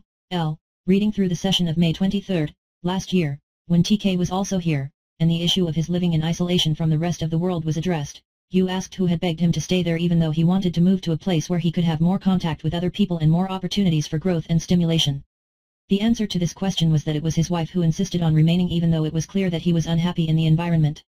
Then you made a remark about an M electromagnetic vector. The way I understood it is that you were saying that a person can be an M vector. Is that possible? A. Vector means focuser of direction. Q, L, so his wife is the one who controls the focus of his direction. But how? Could that mean that a human being can vector M waves simply by their presence and that these M waves are part of the control system that manipulates people? Can it be that such agents are used as M vectors in the sense that they emanate a special frequency that literally affects the mind in terms of shutting down clarity, or even actually transmitting pre-coded thought loops? A. Precisely. Q, L, I also noticed that several of us have been involved with persons in relationships that seem designed to confuse, defuse, and otherwise distort our learning, as well as drain our energy. Basically, keeping us so stressed that we cannot fulfill our potential. Is there some significance to this observation? A. That is elementary, my dear knight. Q. L. Were the individuals in our lives selected for the extremely subtle nature of their abilities to evoke pity, or were we programmed to respond to pity so that we were blind to something that was obvious to other people? A. Neither. You were selected to interact with those who would trigger a hypnotic response that would ultimately lead to a drain of energy. Q. T. Well, it is a fact, because my energy is sure drained. L. What is the purpose of this draining of energy? A. What do you think? Q. T. So you can't concentrate or do anything. You can't get anywhere with anything. A. Or, at least not the important things. Q. T. Is that why my concentration is so low? A. Yes. You are dealing with a no-win situation. As you know. Q, T, so, if I don't get out, I will just keep going down. Is it the area or the person? A, both. One is wrapped within the other. Q, L, is it true that being in the presence of such people, that one is under the influence of an energy, an emanation from them physically, that befuddles the mind and makes it almost impossible to think one's way out of the situation? A. It is the draining of energy that befuddles the mind. Q. L. Where does this energy drain? A. Fourth density STS. Q. L. These people we are associated with drain our energy from us and fourth density STS harvests it from them? A. They do nothing. Fourth density STS does it all through them. Lesson number 1. Always expect attack. Lesson number 2. Know the modes of same. Lesson number 3. Know how to counteract same. When you are under attack, expect the unexpected, if it is going to cause problems. But, if you expect it, you learn how to head it off, thus neutralizing it. This is called vigilance, which is rooted in knowledge. And, what does knowledge do? Q, L, protects. I guess that a person just has to come to the full realization that virtually everything that happens on the planet no exceptions is a symbol of some interaction of STS versus STO energy at higher levels.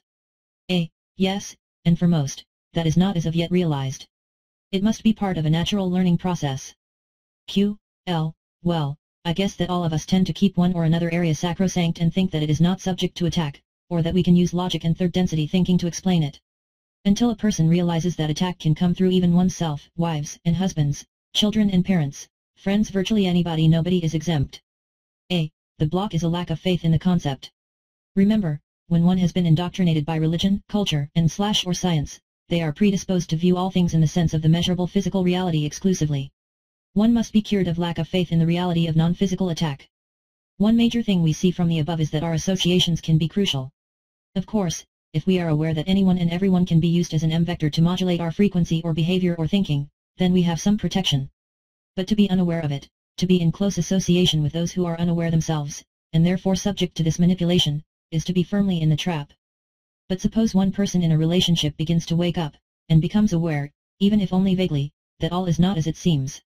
They will have continual glimpses of the reality, mostly when not in the presence of the other individual. They may clearly see that something is not working, that it is not right, and may even make decisions to change it or to leave but the instant the other person is physically present with their M-vectoring capabilities, the glimpses of truth are damped or even shut down and the waking person begins to feel schizophrenic or crazy in some way for having such conflicting and opposing thoughts. Add to this the social and religious enculturation to turn the other cheek or suffer because it's noble and holy, and you have the recipe for cooking the wanderer's goose. Another of the factors in the control system is the self-destruct program. Obviously the aliens have no problem abducting and killing and eating many people who are still lost in the initial choice for STS slash third density. But there are the special cases of the wanderers who, obviously, the STS invaders don't want to tangle with at that level, as described above by RA, so they have a rather clever way around this little stumbling block to their machinations, the suicide game. This is a very cunning setup, I can tell you. It can follow a variety of lines in the lives of different people, and it seems that the STS Orions take some sort of fiendish delight in designing variations for their entertainment pleasure, but the gist of it is this, a wanderer is born. Obviously they have to be born somewhere, to some family, with certain genetics. It is also equally obvious that the choices probably don't include having wanderers for parents or siblings, though there are exceptions. There they are, innocent little babies, volunteers for a great mission, surrounded by potential M-vectors and Lizzie agents. And the game begins. Abuse physical, sexual, and psychological comes into play to set them up for a later fall if in fact they are not just simply killed by same right at the beginning. But the special characteristic of the Wanderer type is that they continue to shine with a sort of inner purity of the questing spirit even in the face of such treatment. As a result of this abuse, they can be attached by any number of dead dudes or elementals or even demonic type entities that enter in through wounds in the psychological slash psychic shield like cosmic bacteria. The usual next stage in this drama is to cause the Wanderer to be attracted to a particular type of person who is a sort of false image of STO. This can be what researcher Eve Lorgen calls a love-bite relationship where a great cosmic love is simulated, only to fall flat as soon as the M-vector is turned off. The intended result of this betrayal is to induce suicidal feelings or to set the Wanderer up for the next variation of the game. What happens now is that the Wanderer is set up by the previous dramas to seek out marriage or love partners who are also abusive either overtly or covertly. And, of course, the Wanderer's special characteristics of being unable to really understand negative thinking because it is not a part of their own makeup, prevents them from seeing exactly what is going on. They always seem to attribute the same high motives and ideals to others that are in themselves. They endlessly excuse abuse and hurt to themselves and others with the idea that if they just love the other long enough, hard enough, pure enough, or stand by them through thick and thin, that the abuser will overcome their hurts slash wounds which are the cause of their abusive behavior, and they will then be able to be whole, which, of course, the wanderer believes to be a person similar to themselves. Gee, sounds like the way of the monk, doesn't it? Perhaps that way was created just to trap such positive individuals and to use them as energy food for STS. Then there is the constant projection of the suicide program by the many M vectors that the wanderer finds in their environment. It takes careful observation to determine who these individuals may be, but it can be done. The natural feelings of being lost and alone and alienated from this environment are intensified and twisted so that the wanderer begins to focus solely upon the idea of getting out from under this enormous psychic pressure. Spirit attachments can also be used in this respect, attacking the wanderer from the inside, so to speak. April 15, 1995. Q. L. You have mentioned attack. Is this physical danger or just harassment danger? A. Mind attack for purpose of self-destruction. Q. L. Is there anything that can be done to shield against this kind of attack? A. Yes. Knowledge input on a continuous basis. Through it all, the wanderer never whines or complains that others are doing it to them, they always tend, first of all, to seek in themselves the cause of the events or the treatment they receive. They react with the idea that somehow they are not giving enough or in the right way, though they are entirely naive about what giving really is because, as mentioned, they have been brainwashed by the erroneous ideals of the third density STS environment which are manipulations to induce service to an illusion. With this enculturation, the most difficult thing that the wanderer has to face and do is to learn to not give in some instances, because this not giving is actually a form of giving at the soul level. End of excerpt. For an in-depth exploration of the topic of wanderers please read Wanderers, Purpose, and Esoteric Work in this time of transition to get a better understanding of this subject. Twin soul relationships and polar beings. The question that comes up is how can we know when it is a true love slash soulmate connection and when is it a setup and foe slash counterfeit soulmate connection as Lorgen called it. Is there any hope for true love? Of course there is. However, people involved in seeking truth and doing the work to help raise consciousness and awareness, especially about topics that are far outside the mainstream and challenge the status quo, need to be extra aware when it comes to love relationships, making sure that their partner is collinear. That means to be truly on the same page and having a common unspoken understanding about the basics and a true foundation to build on. Most importantly both partners need to be engaged in sincere self-work and having done so for a significant time on their own before getting into a love relationship. 10665234 underscore 1020432844039872 underscore 486699906807595388 underscore n. Psychotherapist David Richo suggests in his book How to Be an Adult in Relationships that both partners should have done at least 50% of self-work on their own before getting into a committed relationship. When do we know we have done 50% of our work? According to his definition, this is the state of awareness when we are able to recognize when triggers come up without reacting on them, having developed the objective mindful observer and emotional intelligence to be able to work through issues as they come up without taking things personal and not getting lost in reactionary behavior. It also means being able to differentiate between unfulfilled childhood needs we cannot expect from a partner to fulfill as opposed to healthy adult needs based on our true self. Having said that, most often our wounds and unfulfilled childhood needs are being shown to us once we actually engage in an intimate love relationship and we weren't aware of on our own. In other words, relationships are lessons in love and not an end in themselves. So it goes both ways, not jumping into relationships impulsively but also not isolating ourselves and avoiding relationships altogether. These lessons are different for each of us. Mindfulness is being an adult. It is unattainable for someone who lacks inner cohesion, personal continuity, and integration. Being a fair witness requires a healthy ego, because distance and objectivity are unavailable to someone with poor boundaries, no tolerance of ambiguity, and no sense of a personal center. The healthy ego is the part of us that can observe self, situations, and persons, assess them, and respond in such a way as to move towards our goals. It assists us in relationships by making us responsible and sensible in our choices and commitments. The neurotic ego, on the other hand, is the part of us that is compulsively driven or stymied by fear or desire, feeding arrogance, entitlement, attachment, and the need to control other people. Sometimes it is self-negating and makes us feel we are victims of others. This neurotic ego is the one we are meant to dismantle as our spiritual task in life. The neurotic ego wants to follow the path of least resistance, the spiritual self wants to reveal new paths. Childhood forces influence present choices, for the past is on a continuum with the present. Early business that is still unfinished does not have to be a sign of immaturity, rather, it can signal continuity. Recurrence of childhood themes in adult relationships gives our life depth in that we are not superficially passing over life events but inhabiting them fully as they evolve. Our past becomes a problem only when it leads to a compulsion to repeat our losses or smuggles unconscious determinants into our decisions. Our work, then, is not to abolish our connection to the past but to take it into account without being at its mercy. The question is how much the past interferes with our chances at healthy relating and living in accord with our deepest needs, values, and wishes. Every person needs the nourishment of food throughout life. Likewise, a psychologically healthy person needs the sustenance of the five A's attention, acceptance, appreciation, affection, and allowing. It is true that unmet needs for the five A's in childhood cannot be made up for later in life, in the sense that they cannot be fulfilled so absolutely, so immediately, or so unfailingly. That absolute, immediate fulfillment of needs by one person is appropriate only to infants. But needs can be fulfilled, in short or long-term installments, throughout life. The problem is not that we seek gratification but that we seek too much of it all at once. What we did not receive enough of before, we cannot receive enough of now, what we did receive enough of before, we can receive enough of now. We do not outgrow our early needs. Rather they become less overwhelming, and we find less primitive ways to fulfill them. For example, an infant may need to be cradled and carried, while an adult may be satisfied with a supportive remark and a kindly glance. Sometimes a lifelong need can be fulfilled by just such little moments of mindful love. David Richo, How to be an Adult in Relationships. Eve Lorgen defines a true twin soul relationship as follow. The difference between a twin soul relationship and a non-soulmate situation is that, in a good relationship, Two people proceed in harmony, reconciling their conflicting views, but the twin soul relationship is founded on a fundamental sense of oneness, oneness of vision, oneness of purpose, oneness of feeling.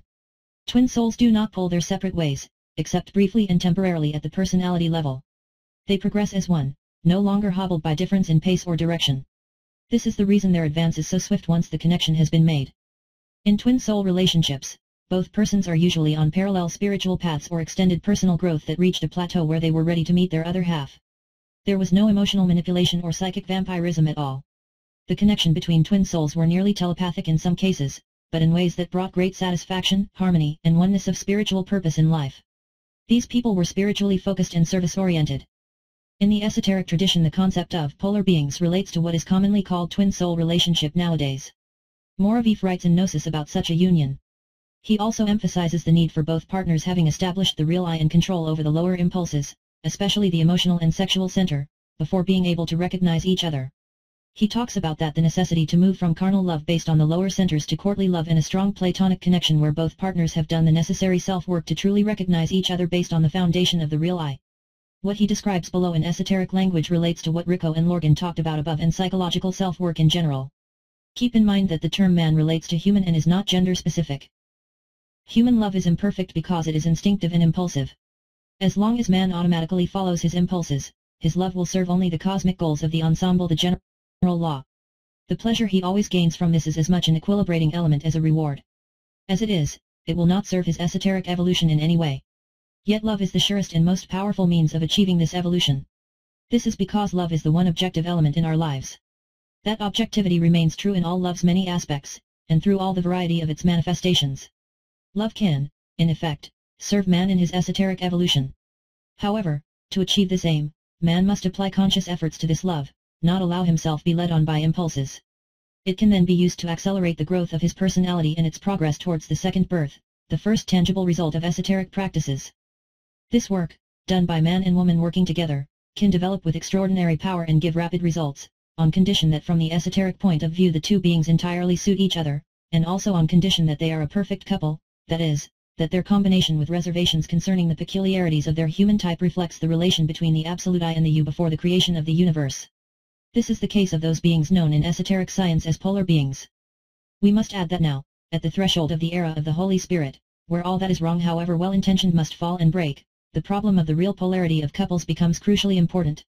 Two beings, man and woman, who are supposed to be polar, cannot be absolutely certain of their polarity until later on, when they have reached the level of man 4, on the threshold of level 5. This is because, although polar in essence, each of them brings with them a past that covers their real I with a dissimilar crust. Those who are polar in essence must take this fact into account.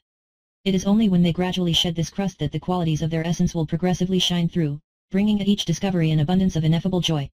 Thus their love will always grow. Conscious personal efforts, especially efforts between two polar beings, and the joint efforts of people who have already progressed in the search for the way, mark out the route for those who want to serve who wish to be useful to the task of redemption which esoteric work wants to accomplish today in the whole world. To set out on the way, man must necessarily go through an inner collapse of the personality, what we call moral bankruptcy. Then he will know the vain illusion of pride, and the true value of humility. To return to this source, the chief practical objectives are mastery of the sexual center, and the training of the emotional center. However, for this esoteric work to be completed successfully by two people, it is essential that the two beings man and woman are integrally polar. Here the real I is involved, and the couple's love, while containing all the possibilities already described in the preceding cases, has a singularly emotional character of a higher order. It naturally follows as this love is hylic, psychic, and spiritual at the same time, thus leading to an attraction that is visual, auditory, and tactile, it is incomparably richer. The chief characteristic of this so-called royal case is the bipolarity of the real I one for each couple. This orients their personalities and their bodies in such a way that what each hopes for and awaits from the other is precisely, and very naturally, what the other desires to and is prepared to offer. It is only in a case of this kind that there can be absolute harmony between a couple, and even this is conditional on each of them trying progressively to liquidate his or her karmic burden and to establish a balance between the lower centers, whose development must be pushed to the limit. These are the combined objectives which the allegedly polar couple who enter on the fifth way must seek through their work.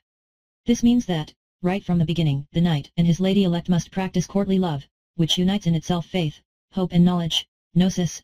Dot. Closing thoughts. The more we are seeking truth sincerely and speak out about it, the more attack we will receive in ways most of us are not aware of. As if relationships are not already hard enough for many people, they can become even more challenging for us who are involved in the alternative research, paranormal, conspiracy, and slash or spirituality circles, being part of a larger consciousness-raising movement in the global community. Does that mean it is a lost cause? No, as mentioned at the beginning, we have to understand that we are more powerful than we think we are. It's a spiritual war and our weapons to defend and protect ourselves are knowledge and awareness. In fact, the deception lies in these entities making us believe that we are powerless and that we can't do anything about it. We can look at it in a different way.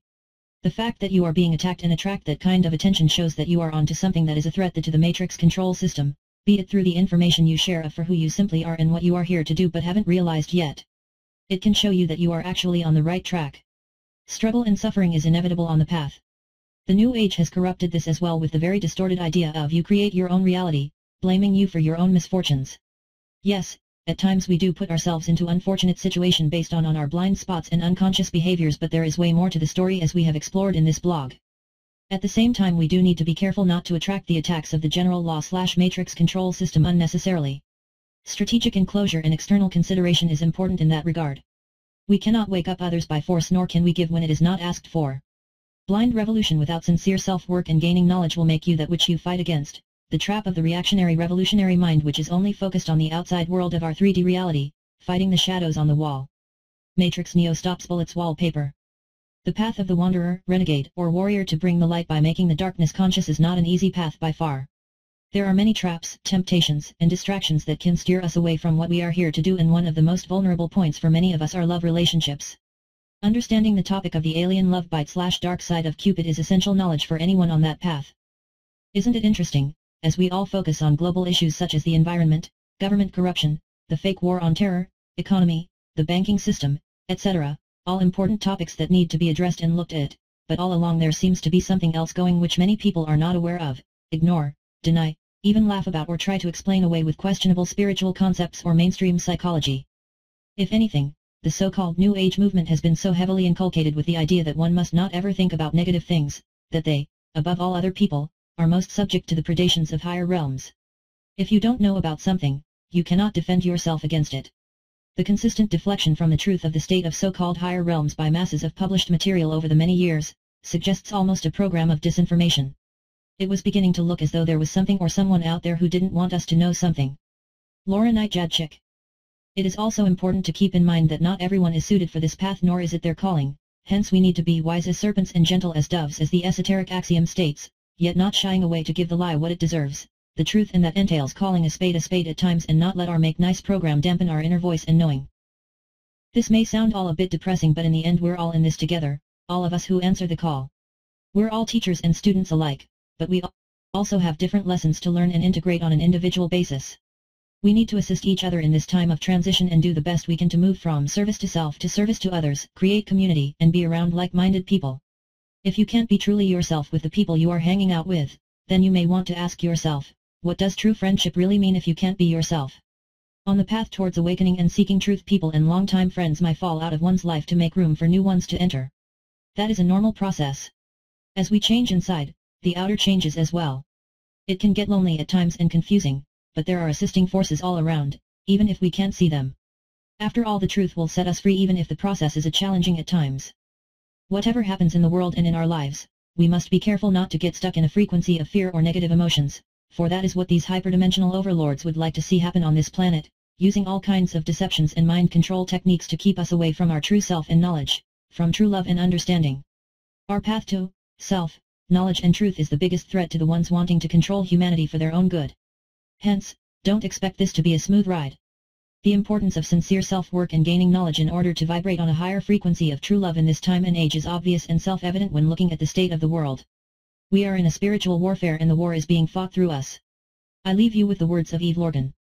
After two decades of researching anomalous trauma, and more recently what I call love-bite relationships, I have concluded that the paranormal factor is very real and we must deal with it. The problem with paranormal complications lies in the fact that not all individuals can perceive what is happening on more subtle levels of reality let alone understand it.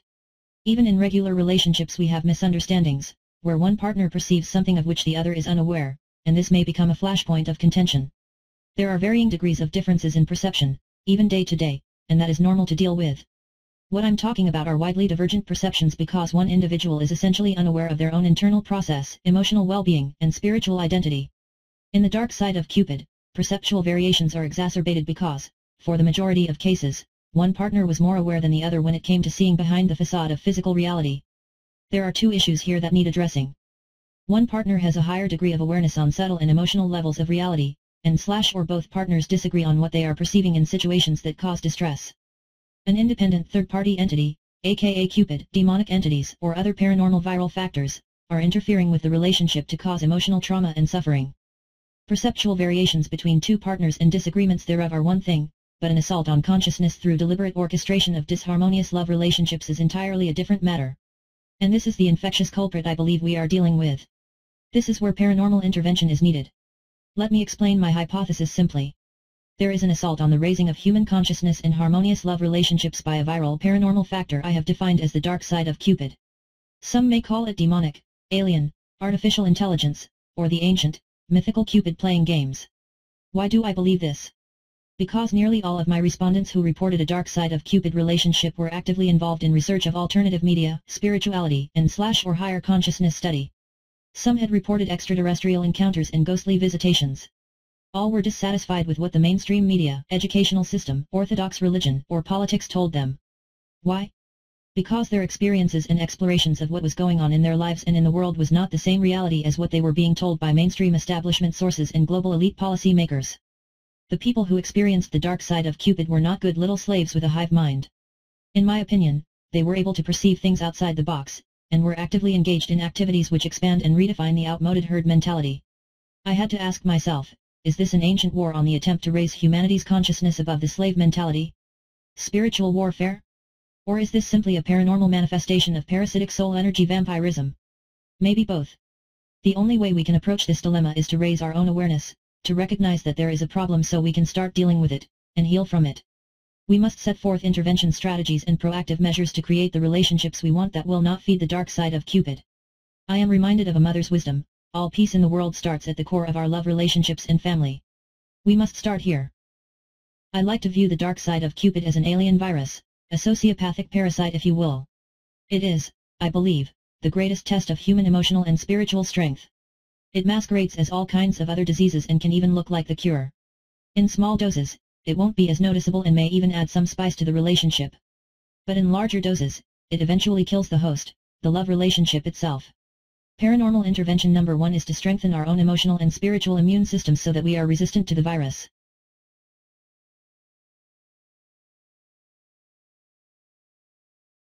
Our hearts, minds, and souls need cleansing on a regular basis. Even the most astute and spiritually dedicated people can be on the dark side of Cupid's hit list. In fact, I believe that people who are directed by a higher consciousness would be targeted by this kind of spiritual warfare.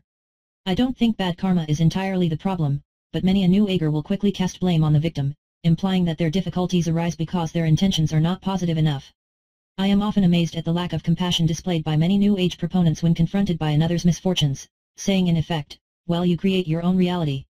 True insight, healing and empowerment cannot take place in the face of blame, nor without compassion. Arrogance is not the answer and having a beginner's mind, as the Buddhists contend, is the first step to become free from suffering.